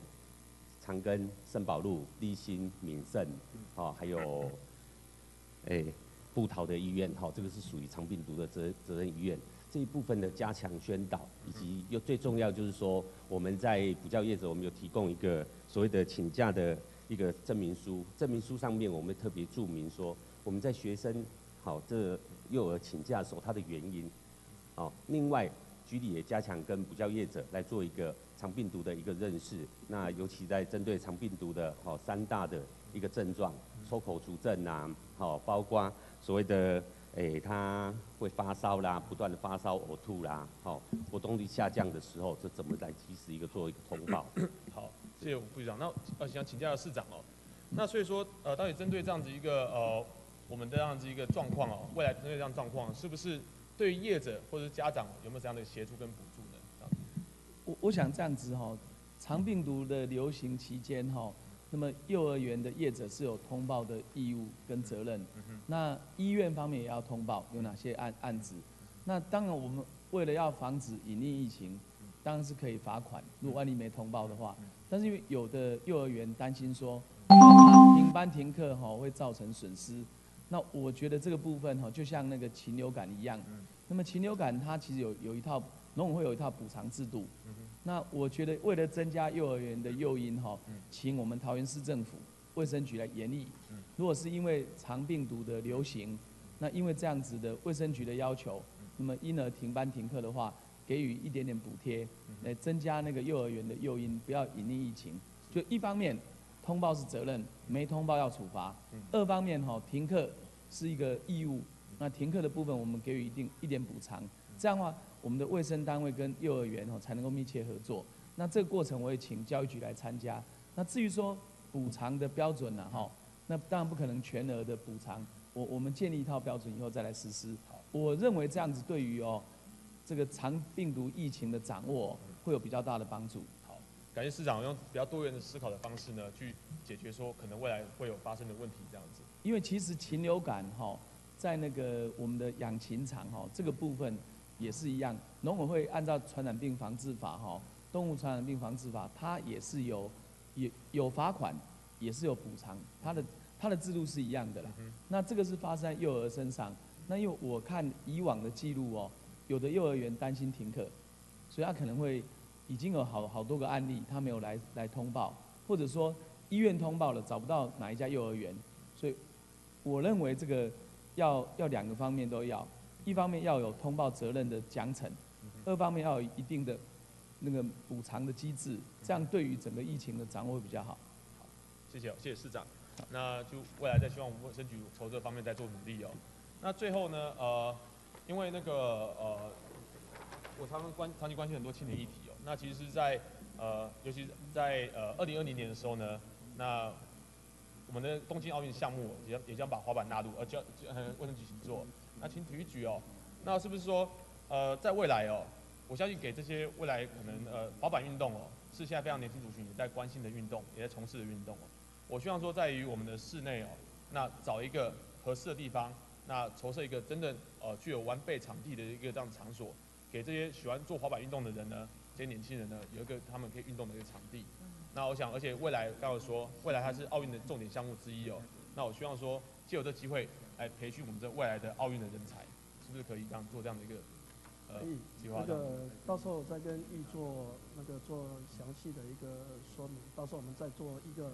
会刊的一个动作。好，是呃，就是我希望说，像我们中立平镇地区的台六十六沿线的底下桥梁哦，就是非常适合的地区。我希望说未来哦，找这几区来，找这几个地区来作为一个优先的会刊。那我相信这些场地哦，那真的落成之后，可以给很大的一个帮助。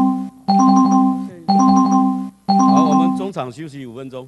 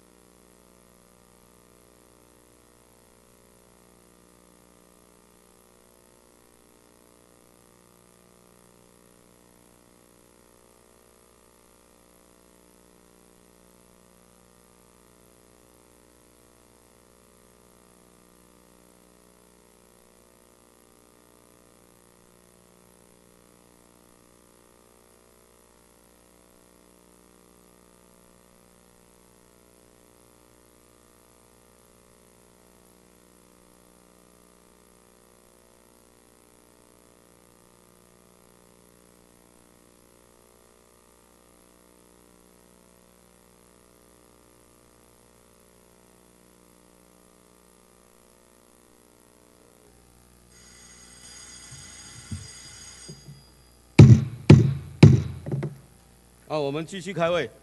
啊，接下来我们请林志强林议员啊以及啊刘仁照林议员啊共用四十分钟，请发言，谢谢。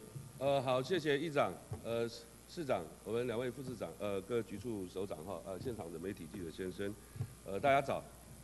我想，呃，针对这个警察的呃有效的出勤的管理哦，那么我想在这边请教我们市长哈。呃，我想，呃，针对这个呃预防重大的紧急事件的发生啊哈，我想，呃，利用这个最有效的这个系统来。呃，做一些出勤或者是一些领枪取枪的这个呃管理上面哈，这个取代我们这个人为的这个呃管理上面的一些疏漏。我想我们呃在上一次的这个工作报告中有大概有提到这样的一个案子哈。那么我们今天下午警政这个卫生小组哈也安排了这个呃到到保六去呃呃这个呃呃视察哈。我想在这个部分呃是不是能够呃。在桃园市哈建制一套这个相当具规模跟呃标准的一套系统来呃维持我们呃取代这个人为的管理。我想哈警械的安全哈是很重要，内部管理的机制包括出勤、包括取用跟这个归还哈，这个其实管理比较重要。是。那至于说那个目前管理人呢要登记，等那有有一套蛮蛮缜密的方式。嗯嗯。那我我想哈如何精进？如何提升哈管理的安全等级？那这个是全国的警政单位都要去努力的。那这部分是不是可以请我们局长说明一下？目前您讲的那个枪枪械管理的新制度，就是所谓的指纹枪柜的问题哦。那目前全国实施的情况为何？请请李局长说明一下。跟议做报告哈。目前这个自动化指纹枪柜管理系统啊，只有这个保六总队的第一大队第四中队，也就是立法院中队啊。他们有建制，是九十一年建制，它的经费啊是由立法院来补助。是。他们那个时候建制的时候是五格啊一个柜子。对。那这样就要呃这个十万多啊，一格就要两万零五百元。嗯。那目前他们立法院中队一共是有建制了一百一十个，那是立法院补助他两百二十五万五千元。那我想一座非常关心啊这个案子，那我们下午啊，那陈副局长会陪同各位一座到立法院中队啊去参访。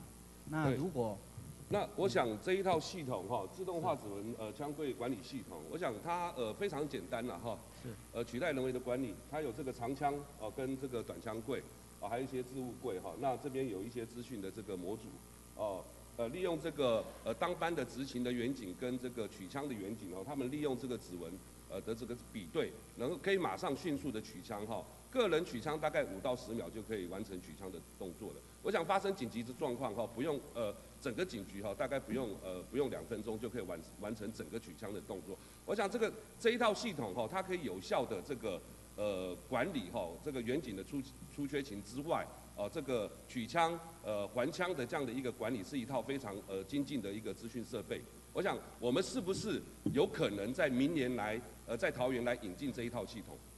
呃，跟预做报告啊，如果下午我们去参访的结果认为啊非常可行，因为目前全国只有保六，呃一大四中他们采用。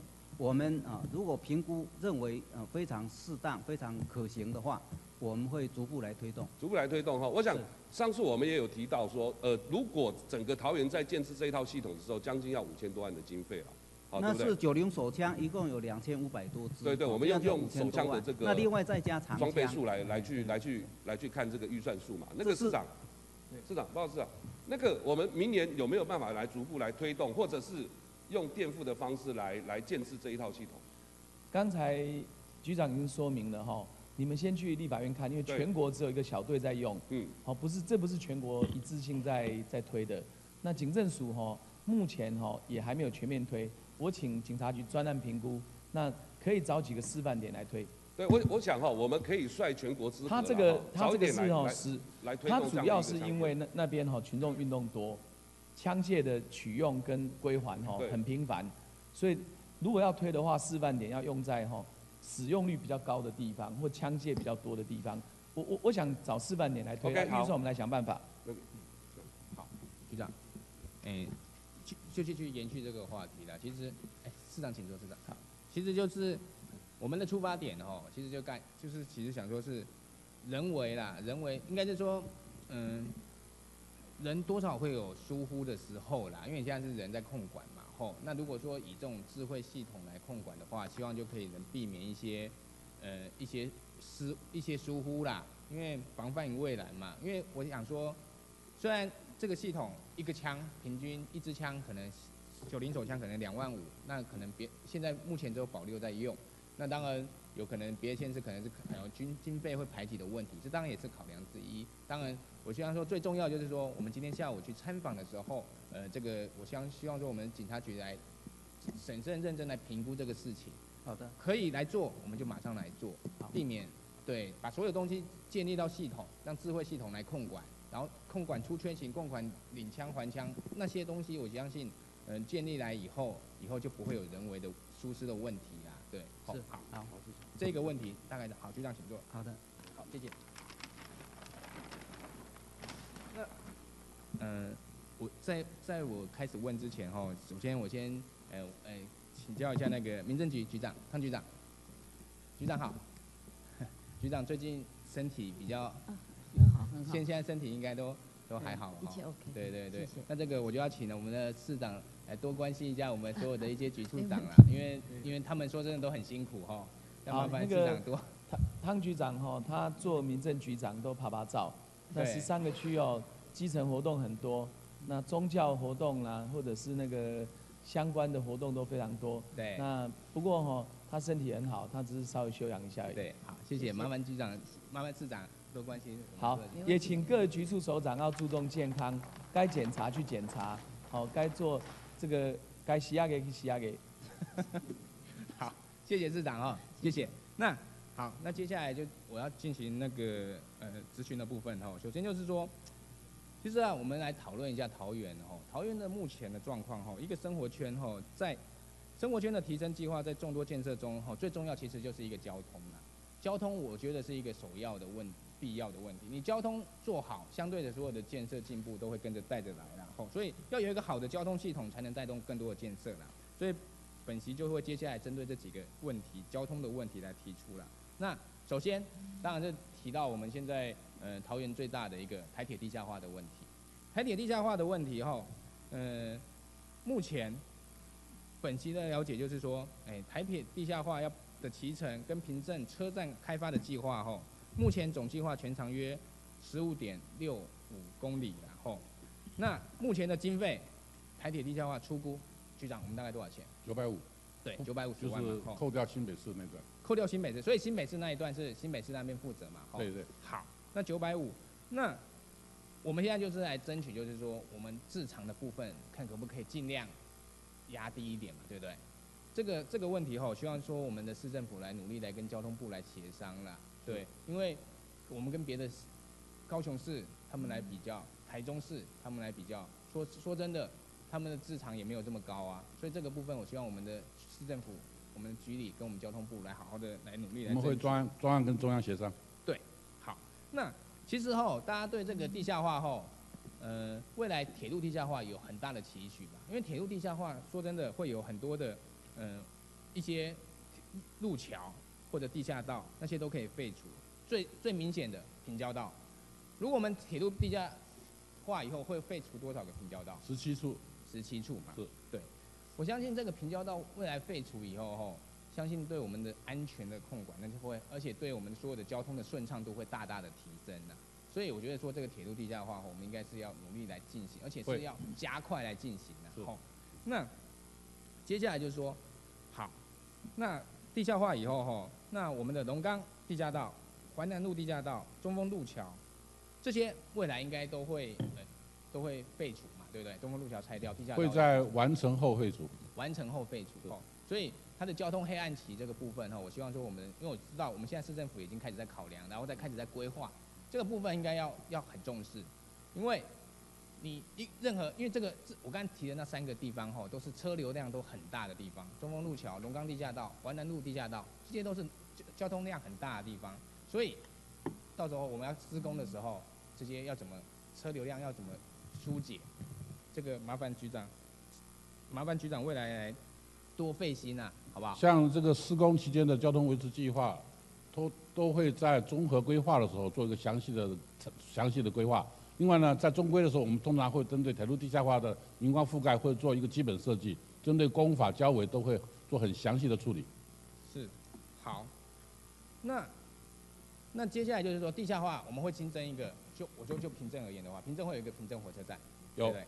这个都在规划里面。是。那我们让地下道凭证火车站规划，目前哈，我们目前的进度是预计什么时候可以？我们的凭证车站是并在铁路地下化里面一并向中央申请。对一旦可行性过进入中规的时候，铁路的凭证站一定会做地下站的规划。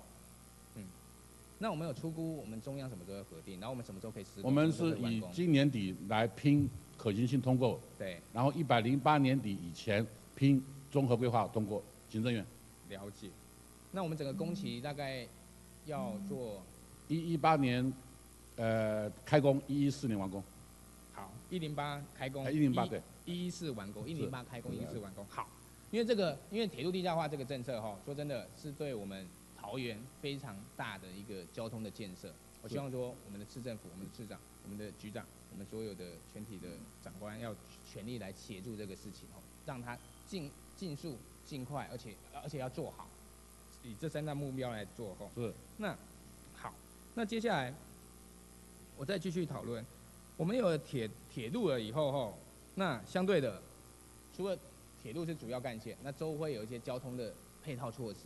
那相对最最容易联想到就是客运。那客运的部分哈，说真的，我们桃园的客运啊，因为其实在我们每次举出报告，总咨询的都有提到，我们我我们一直觉得说，桃园的客运，呃，就以前而言，卫生阁前，老实讲，我我永远都只我好像都只知道就做中立客运跟桃园客运这几这两家而已啦。那近年这几年这次这这几个月这一两年，老实讲是有看到我们局长很认真，去去比如说三重客运也有进来，我们有引进一些新的客运路线的吼。那我觉得说啊，本席始终站在一个立场，就觉得说要有竞争的市场，要有竞争的市场，我们的消费者才会获得最大的权益。所以，我希望说我们局长再往这方面来多费心，把所有的客运网把它更连接起来，好不好？市长有指示我们交通局，针对路线要整并，也欢迎桃园市以外的客运业进来。过去这几年，经过市长的努力呢，包括三重客运、包括统联、包括台中市的捷盛公司，都已经进到我们桃对到桃园市来营运。那捷盛的部分是在明年的三月份，他会带我们的这个十五辆的全电动巴士在桃园市参加营运。对，因为其实这些政策大家都看得到，因为说真的，老实讲，之前没有升格前，大家都看不到这些客运。桃园人真的很少坐公车，什么人会坐公车？都是学生而已。以前念书的时候没没办法就坐公车，所以我觉得说，我们一步一步来，主要铁路做好，客运弄好，然后未来搭搭配的捷运，这样整套系统才会建制完成。讲到客运哦，我们我们市政府也规划了很多的这个转运站，啊，透过系路线的整并以后，转运站的接驳是很重要的。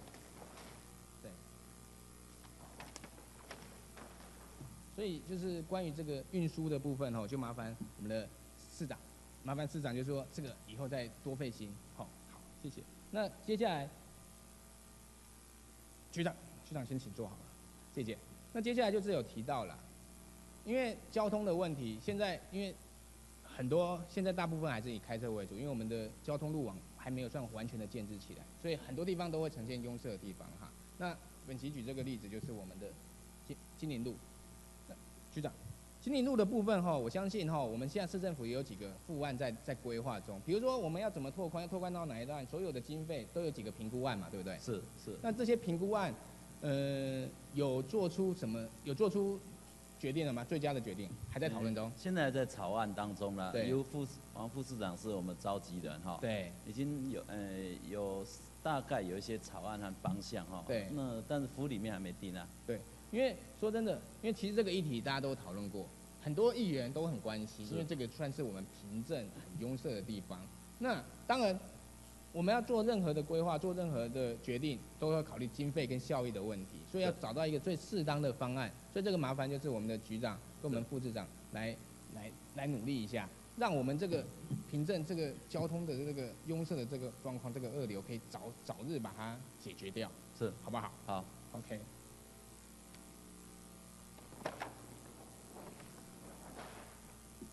好，那接下来我再问一下哈，局长，那个交高局长，高局长，谢谢哈，因为我今天先讨论交通了吼，所以交通部分我们刚才讨论完汽车，汽车塞，那相对的也是有停车的问题嘛哈，停车，那目前呢，老实讲，我们的停车数量算是桃园来讲，停车数量就凭证而言，已经算是很少的。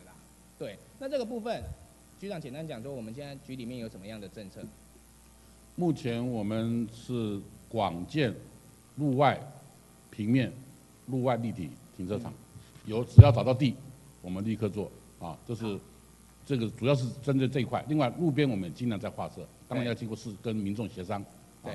然后我们也鼓励私有地，没错来提供给我们。对，局长刚刚提到一个重点，我们也鼓励私有地了哦，我们鼓励私有地愿意让我们市政府补贴他们，让他们来做一些做停车场，这样子来解解解决凭证停车的问题啦。吼，但是吼这个部分吼，我觉得说，我希望我们来多宣导，怎么说？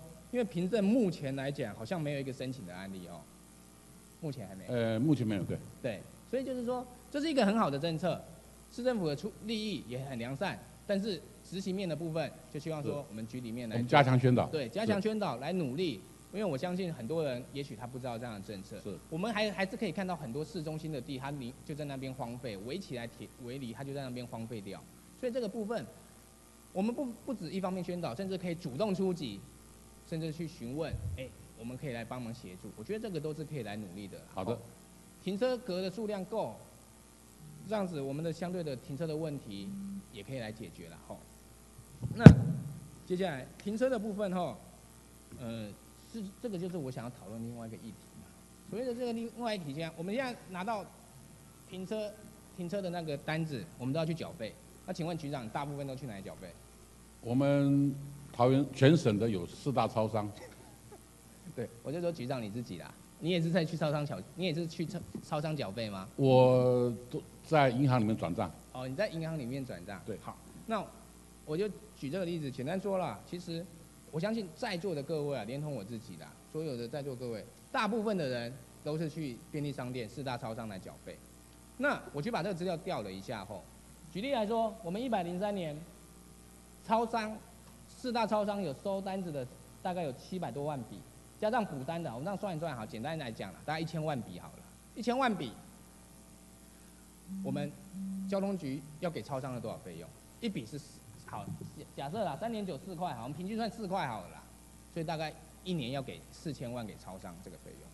那本席是觉得说哈，站在站在这个立场哈，我觉得说，老实讲啦，这四千万给超商，我是觉得我们是否来研议可以来来减少？怎么说呢？其实超商对超商而言，他收任何一笔费用都要代收费，停车费他收个停车费要代收费，收水电费要代收费，有线电视也要代收费，所以他只要一个人做同样的事情都可以收代收费。那这样子，老实讲啦，超商当业者很好赚呐、所以我觉得我们可以努力来思考一下，怎么让这个费用降下来，因为这个费用四千万能省多少，对我们的市民都是看，对我们的市民的荷包都是可以来把它把关的。我觉得我们可以来这个来放下努力，市长，不区长，不局长，你这四大超商，在我自己觉得他们有联合的垄断的那种嫌疑。一定有，我自己觉得。啊一定有所以他每次议价都不肯降价。对所以最近呢，我们明年后年的我们是联合了新北市、基隆市三个市政府，跟他一起议。对。我觉得效果可能还是不太好。对那么我们现在有一个想法，因为现在财政财政部的经管会已经通过了第三方支付，所以我们将来会跟第三方支付的这个厂商再来商量，透过第三方支付，不不到超商缴，那么停车费我们给民众一定的折扣，来鼓励民众。对。所以第三方支付是一道解决的方法，对。避免他们长期的这样。没错。嗯，因为我觉得局长就讲到重点，他们四大超商全部垄断起来，嗯。所以解决的方式啦，我们就是想说用别的方式来收取这个停车费用，就像第三方支付的部分，我们就最直接回馈，我们直接回馈给市民，是。我少收你两块钱，那我们市政府还有还还还有还可以省下钱呢、这是一个举例嘛，对对是？目前有两家第三方支付的厂商，我们正在在正在商谈当中，希望有个结果。哎目前在谈。所以我觉得这这个事情哦，就可能几方面来处理，两个方面。第一个，我们就可能是联联合其他所有其他县市，台北市、新北市主要的大家一起来跟超超商四大超商一起谈，要么就一起降低。是。对，这是一个嘛，但是这个降低幅度也有限。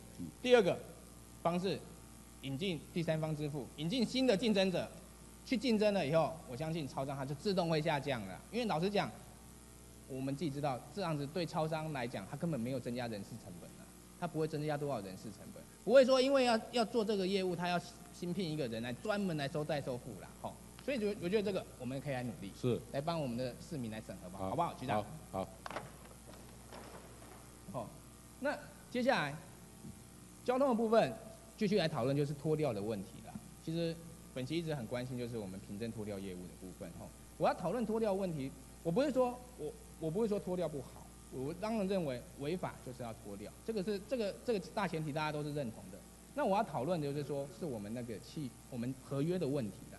因为就我所知，我们这个中立脱掉厂在中立，它如果跨区到凭证脱，它有一点二倍的利润，是应该是不是说利润啊，就是加正常的费用加脱掉费增加1.2倍。一点二倍嘛。嗯简单来讲，换句话说，脱掉厂在这，其实局长你应该知道，脱掉厂其实离我们凭证也不远，可能我是说就凭证区，凭证边边嘛，凭证跟中立的交界其实在两三公里来处，所以本席是觉得说吼，我会觉得如果业者他有心的话，他一直脱掉离他就是我们凭证靠近中立这一区的话，那这样子它利润是很可观的，所以。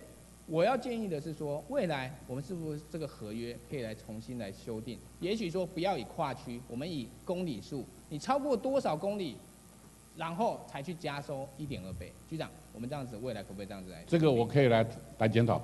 对，好，对，因为我我不希望说，因为其实啊，业者他都一定是以盈盈利为目的的，它不是以公益性质的，这讲讲实在话就是这样嘛。所以我希望这个我们来检讨一下，因为就我统计来的数料知道看出来，它大部分还都是拖我们我们的热点都是在我们那个脱掉厂附近五公里之内啊，所以老实讲对他们来讲很近，对他们来讲很近，所以我很担心他们不中立这么大，别的地方不拖，一直跑来我凭证拖，这个是我会担心的疑虑哈。好，局长，这个麻烦你哈。好。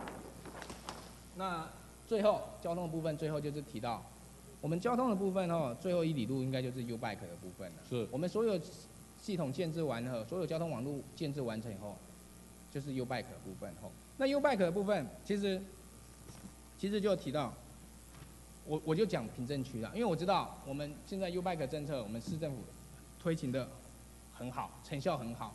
然后目前的点应该是一百多个嘛，规划了合约啦，合约一百三，总共是一百三，未来可能还会再增加嘛，对不对？未来会再增加，所以 U Bike 的政策其实老实讲，所有的民众都都觉得非常好了吼。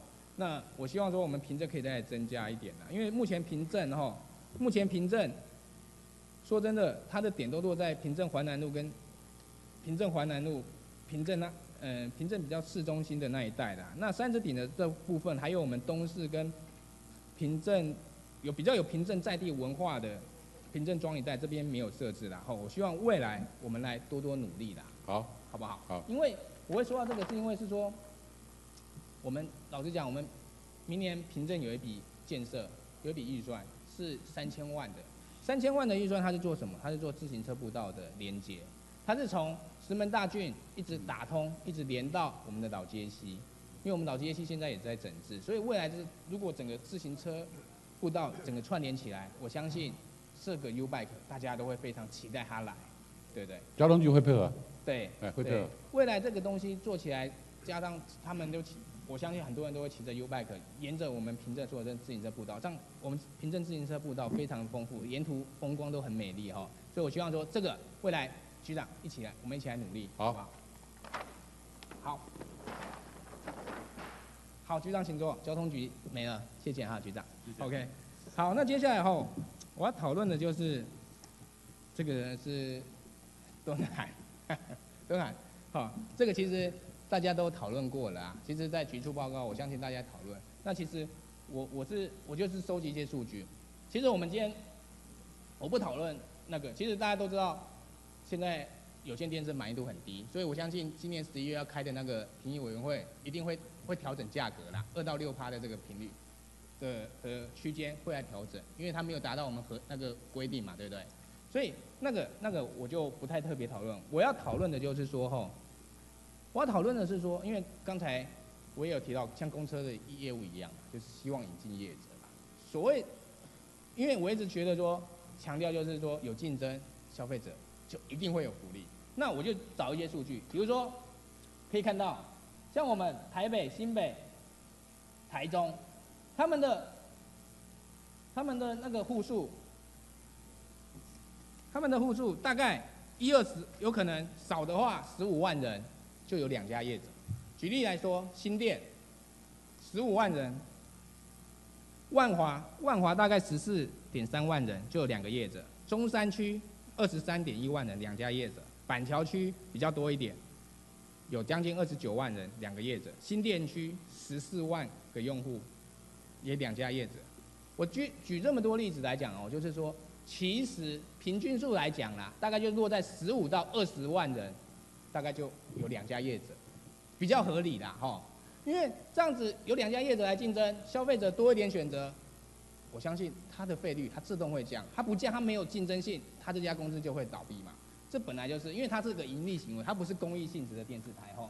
所以我要强调的就是说，希望我们来努力。那我们现在桃园现状呢？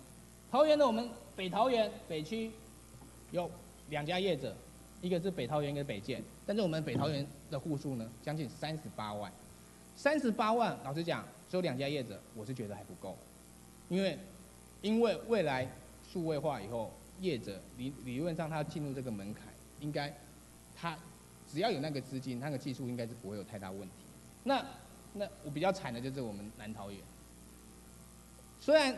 局处长，那时候我们在局处报告提到，他们他没有垄断的问题，他们北桃园也可以到南桃园来，但是目前实际上的做法，他们都没有来啊。所以南桃园将近也是三十三十七万多户用户，将近三十八万的用户，只有一家业者，所以我们南桃园都没有人可以选择，所以他的满意度就很低，他常常断讯，我们也拿他没辙，我们不能不定他的，不定他的，那我们就没有就没有有线电视可以看了。所以我希望这个问题，我希望这个问题就是说。我们的市政府，我们的处长努力来来邀请别家业者，我们主动出击啦。也许业业者并对我们桃园不了解，但我们现在升格了，我们所有的基础建设都很完善，都很完整。我们主动邀请他们来了解桃园，主动来了解他们的需求是什么，我们能帮忙尽量帮忙，让这个市场趋于竞争，竞争了以后，我们的消费者绝对会有利，好不好？因为这个麻烦我们的处长。这个我跟人造议员说明一下，这个当然虽然有线电视的产业是一个资本密集的产业，不过无论如何，相信大家都会认为说有竞争才会有进步。对，这是第一个。那市府的立场当然也是希望说优质的竞争带来收视品质的提高，造福全部的市民，这是一定的。那第二个部分呢，这个刚刚议员也有提到，就是说多少户数会有几家业者是一个比较合理的竞争哦。那其实这个。根据 NCC 的这个法规嘛，那全桃园算是一个区域，所以之前工作报告的时候，我有提到说，就法律的层面来讲，的确是没有垄断的问题。不过桃园毕竟还是有分南北桃园的生活圈，所以就实际的层面来讲，可能有不完全竞争的状况哦。那这个部分，这个 NCC 的主委哦，在十一月初要来拜会市府跟市长，因为这样子的一个门槛，就是这个所有行政户数的十五趴的这个经营的门槛。这个是有线电视法这个有有有光法第七条所规范的，那这个部分是不是合理，是不是合宜？我觉得也可以再做一个进一步的讨论。OK，好，那其实这个是呃我在网络上直接抓公开资讯观观观测站抓的南桃园的报表，南桃园啊，我简单叙述一下了。南桃园一百零四年去年度税前就是扣掉他的营业以后，他的税前他赚了八亿，我是觉得啦。老实讲，八亿说实在真的很多啦，因为他的东西所有扣掉他的人事成本，所有成本扣掉以后，他赚了八亿。我是说税前、o k 我们不考虑他投资损失的部分，投资损失他们自己公董事会决策的问题。税前赚了八亿，大家可以看得到，赚了八亿。然后今年上半年度也差不多赚了三亿六，也快快要四亿，所以他每年都固定大概可以赚八亿左右，所以他这个是很稳定的。所以我就觉得这么好赚的公司，然后这样的那么好的桃园那么环境，怎么会没有业者来？所以我希望说我们的处长，然后我们的市长来努力，这个部分可不可以请市长来来来努力一下？对，请市长。好，刚才那个张敦涵处长有说哈，全桃园是一个营运区域，不过现在可以跨区营运了哈。那我们桃园市政府是欢迎，那么对更多的业者参加。对。那当然他进来有一定的门槛哦。那我想我们市政府哦不会给任何业者任何困难。对那以前有曾经有一家来申请过，后来放弃。对那未来要数位化，如果有任何大型的业者愿意进入桃园的这个营运区的话，我们表示欢迎。对那南桃园的这个断讯问题跟这个满意度不佳的问题哦，我们在去年已经把它列入一个考核项目。那这个考核我们也会公布，如果真的是继续这样下去的话，我们也会采取降价的策略。是，对，因为就资料来看呢、就像刚才市长讲，一百零二年可能有有一家业者来询问，但是我就觉得说，一百零二年到现在已经一百零五年，将近快一百零六年，这几年之中，也许都没有业者来，那我觉得说我们我们市政府我们的处长可能积极一点，多邀请业者来，了解桃园的环境，桃园是一个很好投资的环境。好，我我想有竞争就有进步了对哈，这个是基本的道理。好对，谢谢。好，谢谢市长，上请坐，谢谢请坐，谢谢。那接下来我这样在讨论这个问题之前，我这样想先讨论一下哈，我们凭证未来明年度一些重大的一些建设哈。首先我先讨论一下我们那个新富综合市场。新富综合市场后，我可不可以请那个我们的局长，局长，大概可以说明一下目前的进度吗？哎，可以，呃，谢谢这个刘议员哈，关心这个新富市场。那新富市场，我们呃已经在上个月已经这个完成呃评选了，那也找到了这个呃规划的建筑师。那接下来呃可能一年的时间，我们进行规划设计，设计之后呃预计在明年哦我们可以开始做工程的这个发包工作。嗯那预计在一百零八年可以完工。我记得这总经费好像高达五亿，五亿嘛，对不对？那五亿内内部建设有哪些？我是呃大概怎么规划？可以简短呃说明。目前目前我们呃是采用多目标的使用方式哈，对，就是包括了这个呃李明集会所、呃超级市场，还有这个停车场啊，主要是这三个功能。李明集会所是市场还有跟停车场是停车场，所以所以这样，因为我也大概看了一下你们的规划啦，那所以实际上可能光是停车场的楼层就占了很多了嘛，对不对？是，对。那我希望说这个部分后，嗯，尽快加速来把这个事情做好，因为我们在地所有的居民对那边对这个新富综合市场其实都很期待。是，好，好，局长请坐。谢谢。那关于那个，嗯、我请教一下那个文化局局长庄局长，不好意思，局长局长好，就是哈、明年我们凭证也有一个嘛，就是关于寓意故事馆的部分啊。寓意故事馆的部分，我就觉得说这个这个非常的有主题性，未来做好以后也可以吸引我们很多呃不不管是在地桃园人，甚至是外地人都会愿意来参观啊。所以我想问一下，寓意故事馆目前的进度，还有我们目前未来的规划，局长。呃，目前进度大概大大致的先先期的这个研究调查已经完成了哈，那选址也确定了哈。那我们明年的工程经费是编在这个平镇区公所，好对。那这个呃苏翠玲有要求我们要开公听会哈，那我们这个顺利会在这个会去举办。我觉得重点是说哈，我们的建设不能拖啦，我们的建设不能拖，要尽速来做，要赶快来做，因为其实际上工程经费已经编了啊，对经费已经编了嗯，那前置作业后，我觉得说要加快来进行啊。规划设计也在今年用东二去做了。嗯嗯嗯，对。对，由凭证来委，凭证来来凭证区公所来做嘛，吼。所以我觉得说，这未来结合我们整个魅力金三角这样子文化聚集聚落在一起以后，我觉得说对我们的观光，对我们的文化都会有很大的发展。所以我希望说这个建设赶快来进行，赶快来做，不要拖，因为我们的市民的期待就是希望说，我们能希望能看到建设，并不是任何编在预算书的纸上谈兵，并不是任何一一堆看不到的数字，好不好？局长我们，预算一通过，会督促区公所马上进行。好，局长请坐，谢谢局长。那关于还有一个就是，我要请那个都发局都发局局长，吴局长。简单来说，因为我们其实，在别的议员也有讨论过，我们桃园有很多国防用地，那我们是希望能代管呐、那我举个例子，明年 平镇有两个地方应该是已经已经争取到代管了嘛，一个是陆光路十四巷，那那一个一个代管那个，然后一个是正义正义段四百四十号，在那个金陵路那边的，对，这两个地方目前都已经很顺利的，已经跟国防部取得同意了嘛，对不对？是。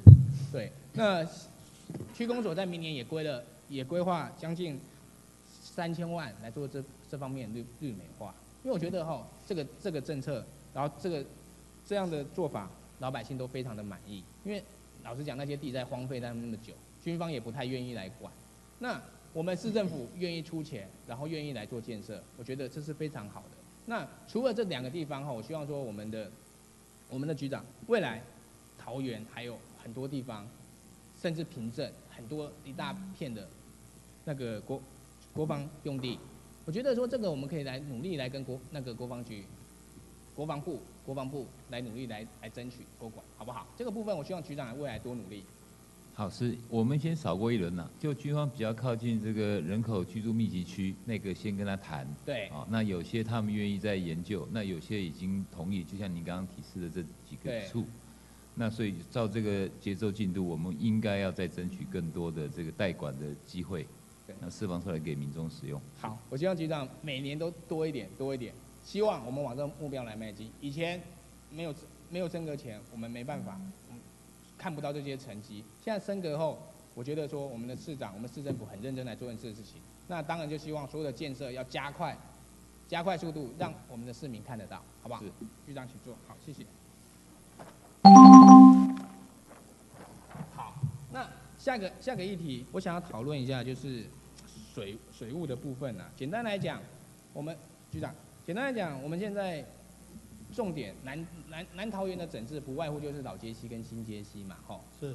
老街溪跟新街溪的整治，吼。那我先提一个重点，新街溪的部分，吼，我要提的是说，我有看你们的报告，新街溪在中立段的部分，哈，做了很多的，呃，比如说，诶，运动休息空间啊，或者是很多的，诶，自然休闲空间，都规划的很好。但是为什么？我就觉得我要我要为平镇发声一下，我就感觉说，到了平镇段哦，平镇段都是做一些农业休闲、农业休活动空间啊。我就觉得说，为什么中立就可以做运动休闲，可以做可以做那个自然休闲，到了平镇就是农业，好像感觉只是做做绿地这样子放着而已。所以我觉得说这个部分哦，我来为凭证来发声，来努力一下。所以我希望说局长未来可以不要说让凭凭证人感觉说隔了一条新街溪，哇，中立是美轮美奂，而我们凭证好像乡下地方一样。我觉得说我们升格以后不要有这样的待遇。是。以前也许是以前是没有升格，是中立市公所的时候，也许他很认真来做那一边，但是也许是我们之前的凭证市公所没有注意到这一部分。那我希望升格以后，大家都是一致的。我要我希望说这个部分我们一起来努力。我们一定会加强，而且会做同样规格的这来样的一，这个我说明一下哈。好，是的。以往哈老街溪、新街溪的平镇段哦做的很少，有短碎吧啦哈。对那现在我们哈把这个老街溪的整治上游到博公潭对，下游到青浦。那事实上我们今年编列明年的预算，我们是优先编列了平镇段。所以你把预算书打开，发现说平镇段今年预算变得比中立段来的多。对。那中立段因为还有土地取得的问题哦，我们都计变更完成后，会另外编预算取得土地。是。第二点哈、这个河川的这个整治的工程配合景观工程哈、不会不同规格啦。对。不会说哦，中立段一个规格，平镇段一个规格，它规格标准是一致的。好、是。你脚踏车道也好，人行步道也好，也会是同样的规格。好，请议员放心，好，这个事情不会发生。好，首先这边也要谢谢市长啊，谢谢市长刚才有提到，我们老街区整治也是从行政段开始来做起的。是，所以明年我们的平镇区公所也编了一笔将近三千万的预算，应该不是区公所，是我们水务局做清水公园的部分嘛，对不对？是，这个应该不止三千万，不好意思。所以这个部分我我真的也是感谢我们的市政府哈，未来我希望我们往这方面来多努力，老街区、新街区的整治，然后多关心我们平镇的建设，好不好？局长、市长，谢谢。谢谢一座。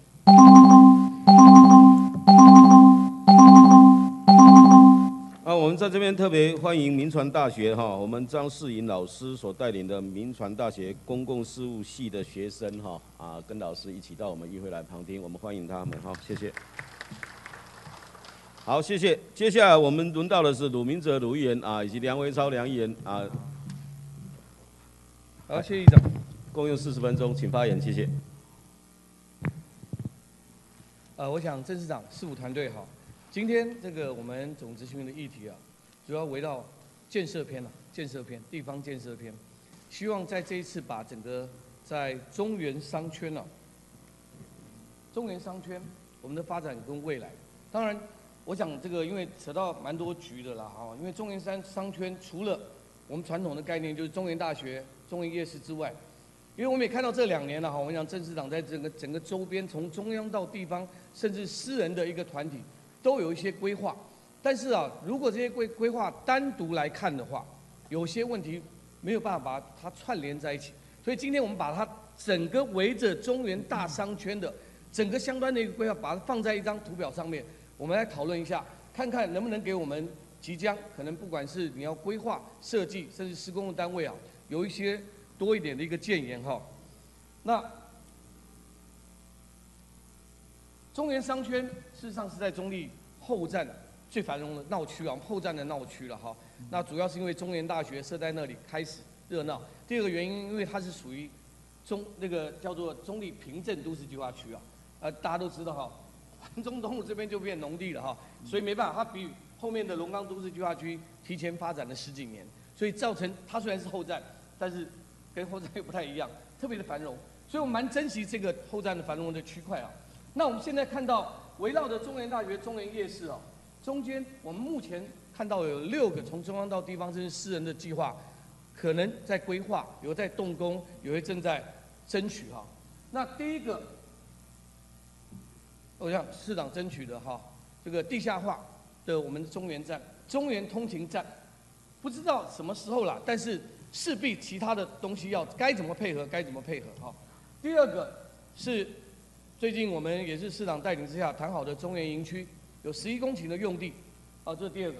那第三个是已经准备应该进入施工阶阶段的哈，中原的可以讲那个我们叫什么绿化哈，整个十四 A 的一个溜池啊，这个部分已经大概准备要施工了哈。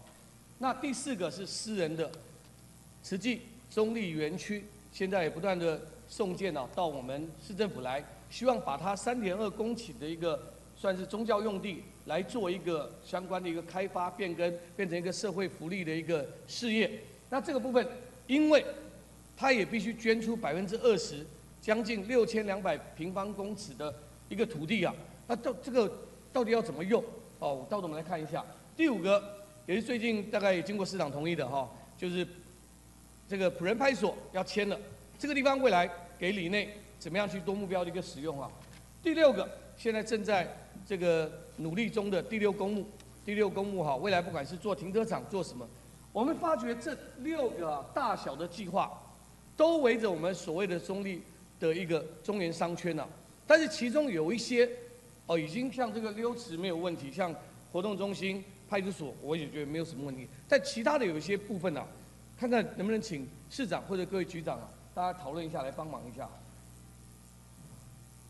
第一个，我们刚刚讲的第一号就是中原车站了。因为从刚开始那时候，其实我还在中立市施工所，也遇到这个问题，很头痛。校长当时校长来找我，那我是很坚持，我说啊，总而言之，多开一条路啊，我们不可能去，我们当然支持啦，当然支持。那因为刚刚那个位置啊，刚刚那个位置，现在台铁原来的高架站是在这个位置，中一路底，啊，往北边一点点，啊，往北边。那现在我们真的很希望说。整个大后站，尤其在不管是中原、信义，或者说甚至龙岗，因为现在龙岗路也很方便了，浦中路一路冲过来左转，其实就从这边可以上来。而且我们觉得有些路从从新中北路进来，如果如果到这边来讲，它会是顺向转，往右转。如果没有这条路的话，所有人到最后都是在浦中路一上桥要来一个大左转。所以我们在想，因为浦中路已经一天堵到晚了啦，所以整体来思考一下这一条路打通的问题啊。那这个部分，我想这个维超因为在一百零三年就争取过了。啊，市长，我想这个道路哈，我在一百零三年的总咨询就已经问过那时候的吴志阳吴县长哈。那现在铁路因为改成地下化了，所以势必这个计划也会延宕哈。我想市长你也常来我们中里了解哈，只要是遇到上下班时间，只要是遇到下雨的时间，中立到后前站或中立到后站哈，往前站往后后站都遇到大塞车的状况。所以未来整个铁路地下化走的状完成的状态之下，未来整个中原站体完成的时候，我们是不是应该中立路打通到中北路这个的计划，是不是应该做执行？市长就这个部分，您的看法怎么样？因为中原大站的选址哈，它是比较靠近中原大学，嗯，它原来没有选址在浦中路啊。那这个问题我们在铁路地下化的方案有讨论过，所以将来可能就是说，它通勤站的位置进出场动线要拉拉大。嗯，那这里是您讲的这条路是要把新中北打通到那个中义中义路这一段哈，对，没错。这个如果没有很大的拆迁困难的话，一定要想办法打通，要不然中原站的效益会打折扣，因为它它选址的那个位置哦是比较住宅密集。那当然，如果选在浦中路的话是比较开阔，可是那边又离的离那个住宅区又太有点远，所以所以这一题我们在那个规划的时候有有讨论到说，如何让中原站哈进出场动线能够加强。我想不止这条路打通，要想办法让那个浦中那边可以进来，这样的话这个站的效益才会高。好，我讲市长这个问题，我希望你能够促进，这个我们会把它列够解决。为铁路地下化的配套方案。好，铁路地下化将来会有所谓的各站的配套方案，里面要打通的路，要做的进出场道路。啊，这一题其实我们交通局也很了解。好，那个请局长很简单回答，是我们目前在中原站至少有两条的连外道路的新辟，嗯这个案子是在铁路地下化定案以后呢，我们会在做综合规划的时候，透过都市计划变更做整体考量。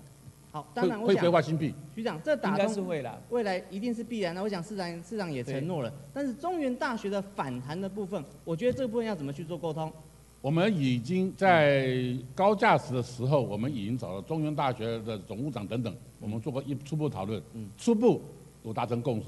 那包括原来的高架底下有那种桥下道路，都有跟他讨讨论过。所以未来的打通它这个是势在必也许要行的嘛，对不对？走地下，那这个因为要有共生方案呐、嗯那这个比较复杂，也许要走走那个如何对中原大学影响最小。哦，这个这个到时候还在协商。所以我们会协商。好，谢谢市长，这个也拜托市长跟局长。好，谢谢。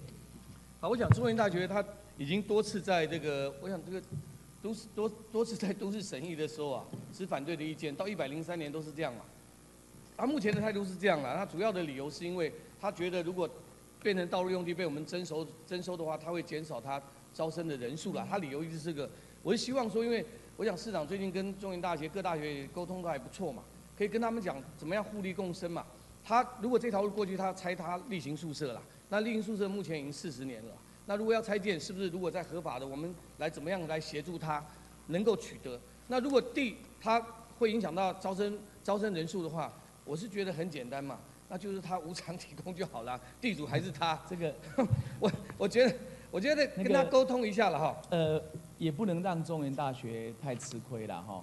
那这里也有很多共生方案，比如说做地下道等等哈。就是说，以这一题要协商，好，这一题要协商。那中原大学如果同意的话，哈，这案子才会成功啦。所以我刚刚刚刚那个局长说，哦，这是一个老问题，但是我们中原站的周边效益势必要做个做个效益上的那个进出场动线的这个设计。如果没有设计的话，这个站效益不会出来。好，是那我我会采取跟中原大学哈这个对等沟通的态度。真的好好沟通啦。那手上如果有一些可以协调的工具啊，也记得要用啦。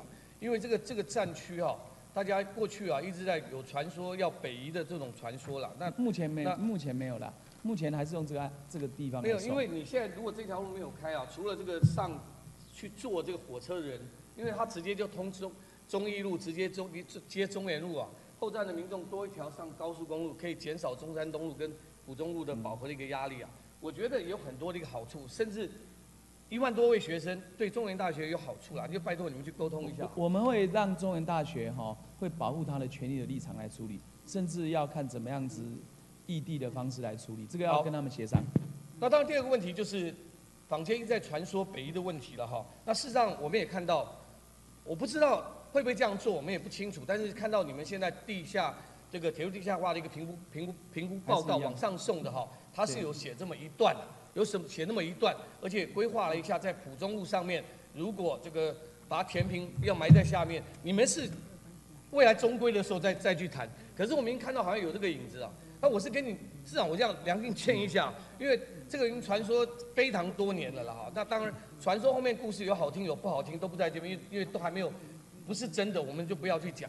但是我真的要建议的哈，如果说这一条路真的没有办法通哈，北移也不是往北移一点，也不是说不能考虑了啊，因为它确实确实距离中立站很近啊，大概一点六公六公里啦，距离内力站大概二点二公里啦，所以感觉也不太平均。你北一点点可以，可是我也不太建议说移到 C 点了，现在的浦中路啊，我觉得那个是已经争议了很久。我们听说问题，因为旁边都是整个这个湿地嘛，哈，那会有一些联想。但是我会建议说，你必要的时候，现在中原营区因为已经他答应我们了哈，整体，因为毕竟一个就算是一个简单的通勤站，它还是有一些腹地，要有一些公社，它会比较完整，人家来这边要要停车，所以我真的是建议，如果可以考量哈，往北移稍微一百公尺左右一站，现在如果我们可以顺利拨用的中原营区这边，那它就有广场、有腹地，甚至有停车场，未来。当然，现在您这个要配合讲说以工业区为主，那也不见得了。如果占权占前的部分搞些搞搞不好有一些商业的一些功能啊，所以我建议啊，如果要北移，但是你往北边移一点，对中原大学的影响也没有什么减损啊，因为它到它操场嘛，如果他愿意的话，还是可以从他操场这这一。题哈、呃，确实我们的报告里面是说，综合规划的时候可以考虑微调啦，哦，这确实确实那个以我们这种所谓的基本设计哈、完成后仍然可以微调，只要微调以后，对中文大学刚刚讲那个问题就影响更小。那这个部分哈、我我们想采取的做法是先核定地下化，在中规的时候再来协商。哦，确实确实这一题哦，因为讨论很久。好我觉得但是我们我我们我刚刚也有说，就是说也不能离人口太远，就是那个它比较密集还是在中原大学这边，对哦，也不能太远。浦中那边现在还没什么人口。所以市长，市长这边大概一大概我算大概一百公尺左右哈，一百公尺大概是可理解的范围。如果前面又有很多的功能，第二个拜托，因为这边你要开始规划了哈，因中信路一直没有打通，中信路这条路是可以直通到浦中路的。然后如果说了，车站在这里啊，从这边进场啊，因为你知道，那真的所有火车站都都不是都都是目的地，所以我们到中立火车站到桃桃桃园火车站，它都是速度很慢。我真的很担心你真的把它弄到浦东路上，大家到浦东路这一点全部车速减慢到三十，我看浦东路就完蛋了。所以让它有一点慢慢进场在这里，我真的建议说，如果北移，这个是优先的考量是这里。。这个建议我请交通部先记录，呃，交通局先记录下来哈。将来那个核定地下化之后，我们来纳入协商。啊，这部分可能还有一些都计要调整。这个方案是要开另外一条路到到那个中华路的。这个方案跟刚刚讲的中原大学方案会有点不太一样。好，这个部分就这个这两种建议我们都把它纳我进来。是希望如果北移的话是移到那个我们现在如果托管的公家十一公顷，也这样比较没有争议的。那接下来刚刚讲的第二个是你现在的中原营区了，我们也说这市民很期待，市民也非常期待哈。那我们那天听了很多民众在讲，我们是拜托一下，因为这一段的浦中路是非常塞，哦，地下道现在出来的这段浦中路，它目前的路幅路宽是二十米啦，那当然是不够嘛。所以我说，可能要拜托，在整个机关用地啊，机关用地啊，你们在整个重新规划、都市规划的时候啊，务必啦，至少现在在我们地的部分啊，能够至少推出到四十米，让左右转，怎么样转进来到中心路，未来假设到车站也方便。要这边右转的，至少多一线路出来，是沿着这个机关用地边边直接右转道出去，或者多一线右转。那当然，我们是希望，如果可以的话，沿着这边这一条这个以工十十九，当然这个是属于私人的，如果一起来做一个变动的话，让浦中路变胖一倍，那我觉得可以顺便疏解那边的一个交通啊。所以我这个部分呢、给市长做一个参好，考。这请都发局哈、跟交通局来来注意一下，主要是浦中路塞车很严重，如果配合中原营区开发，有可能把浦中路拓宽哦，请你们纳入研究，好不好？好因为这里这里确实哈、我我我坦白说，因为现在要设中原大学站，又有那么多个开发的案子，确实需要做一次整合。那整合以后，将来才会顺畅，要做到一次做完。这个我我我对，了解。我我觉得是真的要整个让它全面，它该负责什么功能的时候，我们把 overview 整整体看一遍。那第三个刚刚提到的就是我们慈济的中立园区啊，我们其实也很荣幸啊，有慈济啊，它能够在我们中立发展，我也觉得还不错啦。不管未来做观光、做吸引人潮啊，确实也有它的一个功能。那它现在已经在做一个福利专区的一个变更，那整个未来它现在目前画出来的，在我们市政府已经通过的版本是这样的哈，对大概有零点六公顷，未来会做成公园。那刚好，刚好就在这公园的下方就是实践路口，实践路口哈，所以这个大概有一千八百七十五平的用地，因为公园如果确实变成公园，它是可以多目标使用的，不管盖假设是停车场哦，甚至设 U bike 或者设什么样的一个部分都可以哈。那这个部分我们也希望说，这个相关单位如果这个都计划做完之后，公园的单位甚至哪一些可以来协助，要处理中原商圈这么多的车，这么乱，那是不是在这里可以设计什么样的东西来疏解这样的一个乱象哈？这个部分也给市长做参考。，谢谢。那最后一个，我刚刚讲第六个就是第六公墓啊，第六公墓啊，算了一下，大概土地征收加上未来可能你要做的地下停车场，跟里长提的上面的多功能的，不管是活动中心啊，我在想大概大概七亿也跑不掉。那这么大的投资，所以我们必须拿在这个图面上整体来看哈。因为啊，我帮他算了一下，慈济园区搞不好会过得比较快哈。如果过得比较快，事实上它有接近两千平的地，跟第六公命是类似的。我认为都要开发，都要开辟，都要开发，都要开辟。但它先后顺序怎么样？哪一个比较容易，哪一个比较复杂？那你自自己可能市长你自己去考虑一下哈。因为这边也有一千八百七十五平啊。如果到这里到中原夜市的中心，我们叫做实践日实践路日新入口的话，是五百公尺，那跟那个第六公墓来的距离是差不多的哈。那这个部分就是 overview，整个来看一下，你至少手边如果要解决现在停车不足的问题，能够有这两个考量。但是这个是主要道路，主要道路啊，因为很多要进夜市的人，其实他主要道路在环中东路来，如果他不挤到中原大学那边，是最优最优方案嘛。所以这个部分可以也也给这个市长啊，你做一个考量啦。尤其在实际的部分，如果他愿意捐出来这个一千八百八百多平的地哈，我也觉得可以帮忙他们做公益事业的哈，也帮帮忙他加速一点哈。来，接下来这个可能要市长请坐一下，哎，就因为这是你的业务了，这是今天的重点。因为你知道吗？我们要刚刚已经讲过，这个要投资八亿，那个要十亿，然后周边设备弄好了，一进场一看吓一跳，不进场不会怕，一定来乱。如果你到时候中原商圈一进去，给人家一个是。乱乱乱，不光是。晚上乱，因为白天还继续乱。那我们这么多的周边的一个设备，我觉得到最后包括车站可能五十亿、一百亿的一个一个投资进去啊，我是。觉得你的责任啊，真的是蛮大的。虽然你新到这里，过去的事情啊，过去的事情你说啊，过去做的怎么样，我们不管哈。但是目前的一个必须要去，你们现在那个中原夜市甚至中原商圈的有没有什么样进度？要要准备怎么处理？嗯谢谢卢议员哈。那这个部分其实他们这个中原商圈协会哦，跟我们的这个产发科哈，我们都有呃定期做一个这个会议来讨论的哈。那至于这个议员提到就是呃乱这个事情哈，其实真的有它的背景存在。那我们现在其实是很希望说把所有的店家把它制度化，好，透过我们的协会，然后不管是辅导也好，或者是说我们重新教他怎么样来建立这个商圈的整个、呃、提升他的生活品呃提升他的品质啦，这个是我们现在有一直努力在做的事情。对，局长，这个因为你也是中立人啊，是，你你大概也常常会去那边，我就住在那附近。因为中原商圈是不好解决，是不好解决，因为它是一个复合性的商圈。什么意思？就是除了你刚刚一直在辅导的店家之外，你除了店家，还有什么家吗？因为我们在民国九九年八月做了普查，你至少有这种基本资料嘛。一百七十一家是推着摊位的，是，然后另外一百四十家是你所谓的店家。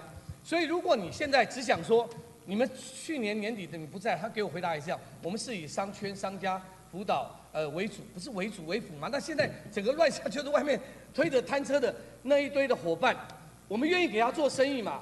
新民夜市也是这样，你就晚上来赚钱，但是拜托你，求求你，赚完钱之后啊，该带走的带走嘛，对不对？那该留下留下留下一个，把路留下来嘛。所以你现在哈，因为你现在我是觉得。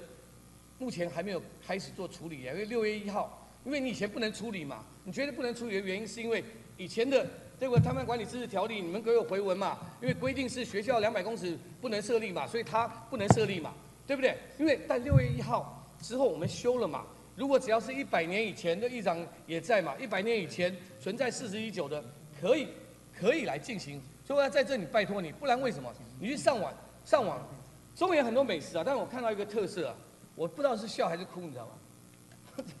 网友说人车争道，哇，逛这个夜市啊，蛮过瘾的，你知道吗？都来就是在人车争道，不，事实是这样子，他这个完全没有，你随完全没有夸大，人车争道挤的过程就这样，大车小车在里面去挤，哦，但是我觉得以前也没有 也没有处理啊，也没处理好啊，但是因为这个问题比较麻烦，你知道吗？因为哈，现在是生意越来越好，大学生夜市自从五六年前那个 TVBS 一个时尚玩家来面玩了一次之后，哇，网络疯传啊！所以现在哦，已经真的不叫夜市了，好，你要就要找午市啊，好，大概就十二点就开始，大概有三分之一摊位推出来。那你现在在不管是从早影响到晚，我不希望中原夜市给很多人来这里，哦，留下这个这样的一个人车争道的一个险象环生的印象，而且再危险的还不光是印象。万一实质发生怎么办？警察局局长，那个李局长，其实我们这样人车争道很多的交通安全的一个事故，是不是有危机啊？你觉得？是我们每天的八点到二十二点，我们都会派警去加强巡逻。因为我知道你派遣完，你也只能这样啊。这就是你派遣完的结果了。啊，请坐。消防局，你看这个部分要不要去做处理啊？你知道之前我们处理新民夜市的其中一个主要原因啊？是哦，那个消防车哈过去很困难，然后也就大家很担心，看要怎么样，至少要留一条路，所以最后新民夜市最后留四米，紧急新民夜市啊。那现在这个状况哦，也不能不管，现在已经蔓延到小巷子里，你知道吗？蔓延到小巷子里的话，你要怎么去做？我想七点五，七点，这个是那一天六月份，呃，网友拍下来的，我没有放声音了，声音在我这边听啊。偶一偶一偶一，我就配配音嘛。偶一偶一就什么偶过来，就是走不动。所以这个地方，如果经发局，但是消防局请坐。经发局，你知道哈，就是说你虽然处理的是摊商摊商的界面啊，是生意的界面啊，但你要知道，没有规矩不成方圆嘛。你要给他做生意，但是在我们的规定范围的游戏规则里面，让他赚钱嘛，而不是说赚钱又按照你随便你们怎么样去。弄，那做完的一个结果，现在就是这样啊。那我我我再请教你一下，你有没有听说过中原摊贩有六项自治原则？你有没有听过？啊，这个我没有听过。没有哈。我跟你说了哈，我们在我市长任内跟前任市长任内啊，监察院来好几次文了，好几次文了，因为居民不要搞得跟四大夜市一样。我今天讲这个的原因就是说，现在一直往巷里面蔓延，如果你是视而不见或者充耳不闻都没关系，到有一天。民意反弹，公安事故发生的时候，你之后再来，你再来去亡羊补牢也补不来了，你知道吗？那现在当时的六项准则，他们自治会为了避免被抄掉，他们自己决定六项准则。哪六项准则？那准则我就放放给你看，那新闻你去查一下。第一个准则，一二不妨碍交通住户出入口的进出。第二个准则，放置摊位时不可超过超过马路白线。那现在就是前天的状况，白天呐，我晚上不敢去拍了。十字路口连十字路口啊，斑马线呐，什么白线呐，斑马线都开始设摊了。哦，你刚刚讲那个协会嘛，哦，你就你就问他嘛，哈。是。第三个原则，自治收摊时候摊车不留在马路上。第四个，马路上不放置活动招牌，这是前天的状况，大概五六十摊摆在那边，其实真的很难看。那那不跟新民夜市一样吗？一百一十四摊，他说我摆了二十年，说卢市长你不要你不要自以为很行，不是行嘛？那你我们升格了嘛？你也请你们帮忙一下嘛。市井的接龙不要这样嘛！你做完生意，你就把它弄走。那现在新民夜市不是每一个人现在三四点骑着车拖进去啊？那可是你不管不管就是这个样子，摊车招牌三步一岗五步一哨，这是现在情。最后两个，我觉得我觉得这个这个是最严重的。我我出去新民夜市的时候发觉，哇塞，你家就是我家，马路也是你家，也没有关系。你做完做完生意了。气温三十六七度，你捂在那边，瓦斯桶就就就放在别人家门口，我觉得这个很不道德啊，很不道德。所以他们讲不可以放置瓦斯桶，而且呢，垃圾自行清走。前天我跟你讲，现场啊，五十桶瓦斯桶就是像这样的，没有人看管的，就放在这里。现在有些人你知道吗？有可能他心情不好，乱开乱弄的时候，这公安危机，我觉得摆在街上的瓦斯桶，然后包括垃圾，大概五十袋没有带走。这是现在的情况，到底要怎么改？到底我们现在协会做什么？非常，你看是谁在清扫垃圾？你知道吗？啊，局长，我想在卢院就叫你很多问题，我觉得你还没做好当经发局局长的准备，你还好意思说你住在附近？很多的内容你都不清楚、不了解。这张相片是什么？清晨，清洁队员在扫那些摊商留下来的垃圾。中原国小的师生。在打扫环境，我当过中原国小的家长会会长，我的孩子也在那边就读，我最有深刻的感受。你住附近，你应该也要有深刻的感受。所以你一上任局长，对于整个中原商圈的改善的方案，你应该马上去着手进行。你刚才只回答鲁豫，回答了什么？只回答了说针对店家来做改善，关键不是在店家吗？不是哎，关键在摊商哎，新民。的市场，新民的夜市就是一个很好的方案，就是他在做完生意之后，后续的环境改善非常的干净、整洁、清洁，这个就是未来我们中原夜市要走的一个方案，这个是我们中原夜市未来一个方向，未来中原夜市周遭提供这么多的建设的推动，我们一个中原夜市到了晚上寸步难行，如果今天就算发生了。公安发生的救护车要行走，那会面临怎样的一个困境？我想局长你应该去了解、去深思，不要让这些孩子、让这些师生每天面对这样的环境。局长，你认为刚才卢院所提到的，你多久可以做到？多久可以完成？呃，这个部分我想我们尽快好不好？因为就呃卢议员刚刚提到一些问题，我想也不是短时间发生的，它应该已经是长时间存在的问题了。那我是希望说这个呃议员们也可以给我们时间，我想。商圈协会是我们第一线可以跟摊商去做沟通跟协调的一个单位。你先去了解内容，因为刚才你的回答让我觉得你不够了解。谢谢。可能要讲到一个节点。哎，卢好，谢谢。那就是很久发生的，可是不要推了，因为我接中我们要推，我接中市长的时候，他们也说这个一定是一个问题，我们一定要解决了。就是该到这个位置的时候啊，但是你们现在啊，真的要有一个积极作为了，不要说让人家感觉是无为而治。那什么叫无为而治呢？你知道吗？为什么我感觉你治？因为你还跟这些，因为现场弄得这么乱，你知道吗？像其他的管委会、自治会，就基本的要求，你生意赚完了，恭喜你们嘛。很多夜市就找两个人来扫地，这基本的、基本的，人家民众吵了一个晚上没有话讲，那你乐色弄好了，对不对？你开心了，你赚到钱了，我们也恭喜嘛。最基本的，连放公共乐色桶的，这个这这个商圈协会啊，这商圈协会是干什么的？我们也不知道哈。你们还跟他沟通，还补助四十万，那补助，补助的结果是什么？刚刚警察局说啊，那个谈谈判也没合法。你们现在一直用各种方式介绍这个名摊呢？说真的，我已经包括在吴志阳的时代，我也都不去参加。为什么？因为我的逻辑不对。我说能不能我们让他先合法化，我再再说再捧这个摊，QQ 玩好吃。我我我，因为我找不到一个，所以我已经连续三年没有去了。但你们为什么玩那么快乐？其实我真的不清楚，到底法律逻辑在什么？这是你们今年补助的四十万，你靠摊商协会，里面四十一摊，两个问题，为什么只有四十一摊？至少现在四百四百个店家加摊位，为什么只有四十一摊？这是一个封闭型的组织。封闭性的组织就是，哎来，我们几个兄弟玩，那那他可以自己自己去玩哦。但是任何一个商圈代表一个学校，你补助给某某国小，说一个建设的经费，他可以这五个人说，这五个人分分一分吗？当然不行，他只有他几个店，然后这个店有一半摊位，我我不懂啊，就你能不能先给他一个合法的证照，你再该鼓励他？我为什么这样讲？你今天鼓励他，明天明天警察局把他追着跑啊，把他罚得叽叽叫啊！我这这到底什么逻辑嘛？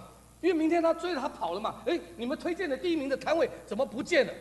所以现在合法化，哎，包括你们今年四十万里面做了一个影片，我是觉得拍的还不错，蛮生动的。可是就一直在拍那个，我现在逻辑上认为说，不能够帮忙促销的违法摊位，不然警察局要怎么去做？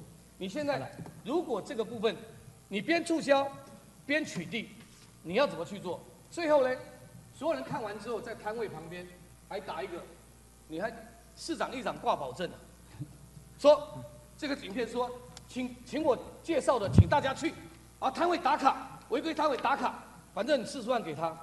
市长，我想这样，能不能先让他有机会让他合法化，发给他在固定的位置，按照我们固定的作息，把垃圾收好，让他去赚钱，但是不能这样的说他们这个把它搞太乱。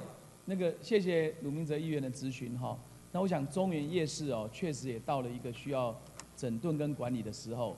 那步骤跟方法，我想我我回应个基本原则啦。第一个哈，这个商圈的自治会哦，必须要取得多数的代表性。好，不能够只是少数人，这第一个。那他只有合法化以后，才能够跟我们协商。第二点哈，那个在这个警察局的政策上哈，分时段、分路段，时段跟路段要律定出来，如果可以摆的话。第三哈，公安跟环保问题还是基本的。我我我想哈，不管做什么生意，那你你用马路做生意，我们就算我们自治条例容许，他也不能够放那么多的那个。我我看好像瓦斯桶，瓦斯桶对，还有另外清洁维护那个确实是需要有跟他协商，要有清洁维护，好不能转嫁给学校，也不能转嫁给环保职工队。我想这基本原则，好，当我们辅导也是支持的意思，辅导就是要支持，要让他往前面走。那这几个基本原则哈，管理的手段，请我们的经发局跟这个商圈自治好好协商。那我是认为，当然中原商圈也很有魅力啦。但是我们看到这些人车争道，或者是垃圾啦，或者是这些环保问题，我我觉得这样也是不是方法。那么要正面面对。啊，市长，我最后最后讲一下了，因为准备的资料太深入了哈，所以事后如果有兴趣，我我再给你啊。但是啊，我就拜托啊，就是你现在啊，过去的经发局做了多少事情，其实是是可以一看就知道了。比如说你现在手上在处理摊贩，跟所谓商圈。你就只有两个规定嘛，你又不能，而且你立法的嘛，就两个嘛。摊贩管理自治条例，我就请教你，在摊贩管理自治条例这个法规定完之后，我们经发局过去到现在辅导了几个？不要不要不要讲我中立的啊！你们现在给我的单子就是中立跟桃园两个夜市存在的三四十年，除了这两个之外，其他就两个私人的，不用你辅导。目前我们自己出动去解决老问题，这个用这个法律，目前前朝到家是零了，哦，但是。商圈管理条例就是有店面的，这个是推着轮子的，给你到现在，我就觉得这个部分呢，你要回去好好看一看。因为我在市场最后两年的时候，特别把中平山商圈把三个商圈弄起来，变叫站前商圈。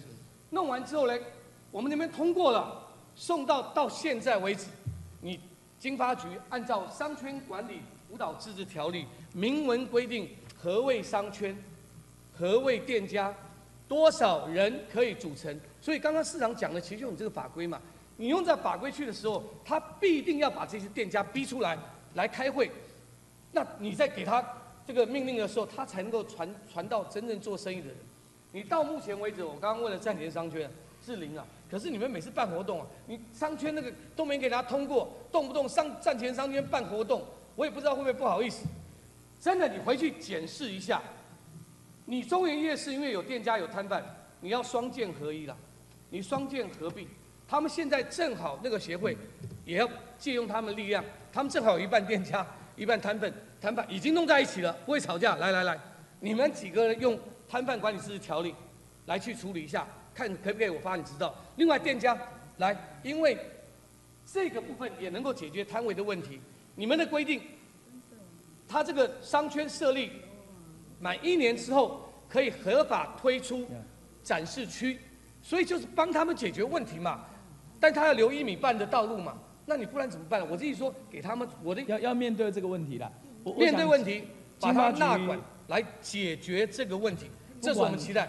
不市长，我我想市长刚刚那句那个，刚刚你讲一句，我很赞成啊。我拜托这个警察局为主哈，现在其他都不要讲，因为这个有些要时间的，你慢慢去弄哦，不会一触可及。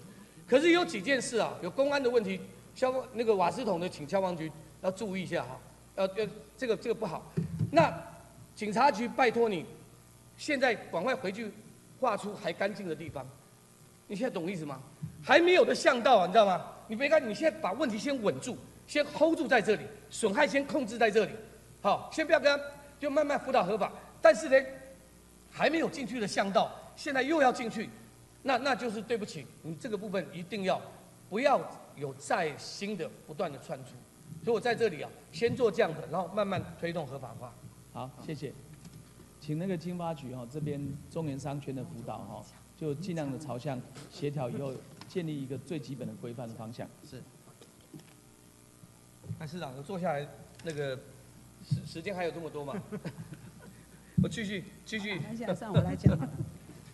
呃，我想刚刚鲁明哲议员讲到有关这个市场的问题啊，我要在这边特别强调啊，我做议员五届，这这五届刚将二十年来啊，我不断的要求啊，我们龙南路三五巷要开辟，那十五米道路要开辟，原因就在于整个中正、贸易、龙兴、东呃中正这几个里呢，早上因为菜市场的关系，所以没办法进出，消安是一个非常大的问题，所以我们要求这条路要开出来。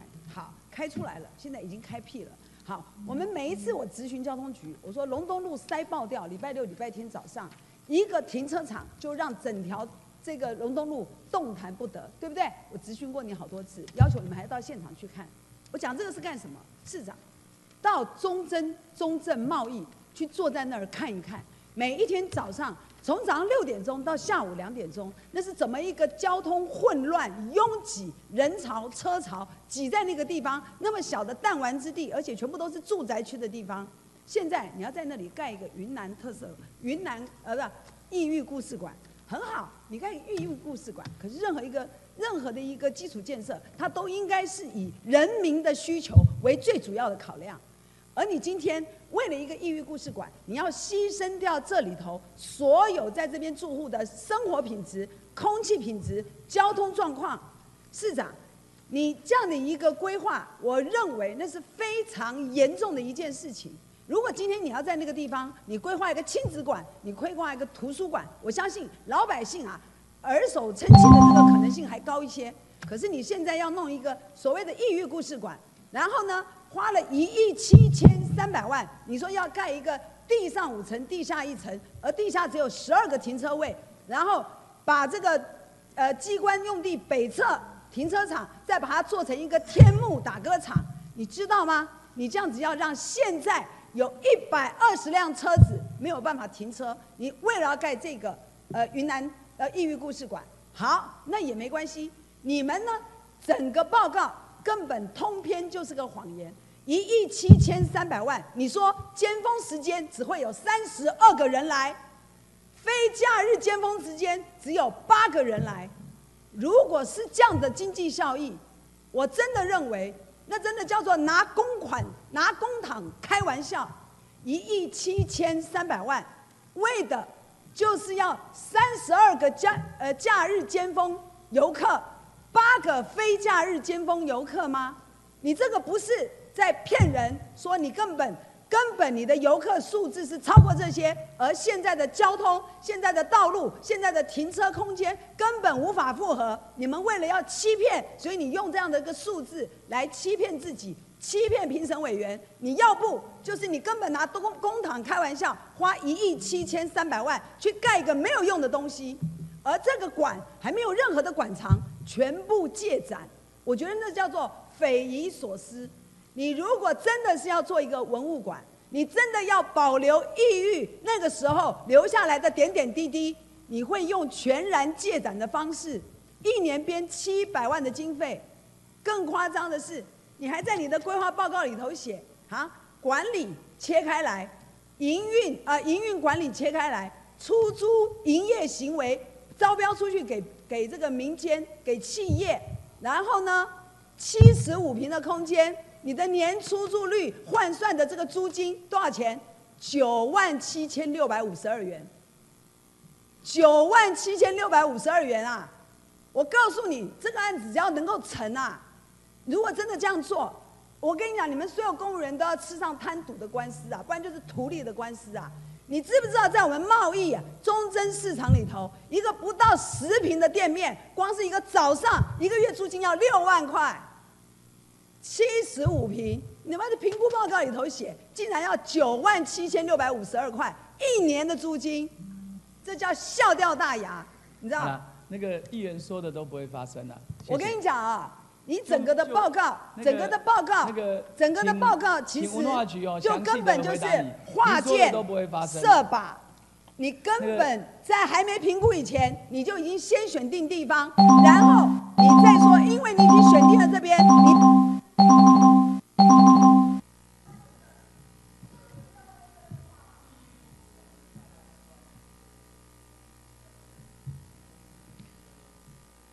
好，谢谢。好，谢谢，请坐。啊，今天早上啊登记执行的议员哈啊全部执行完毕，我们散会，谢谢。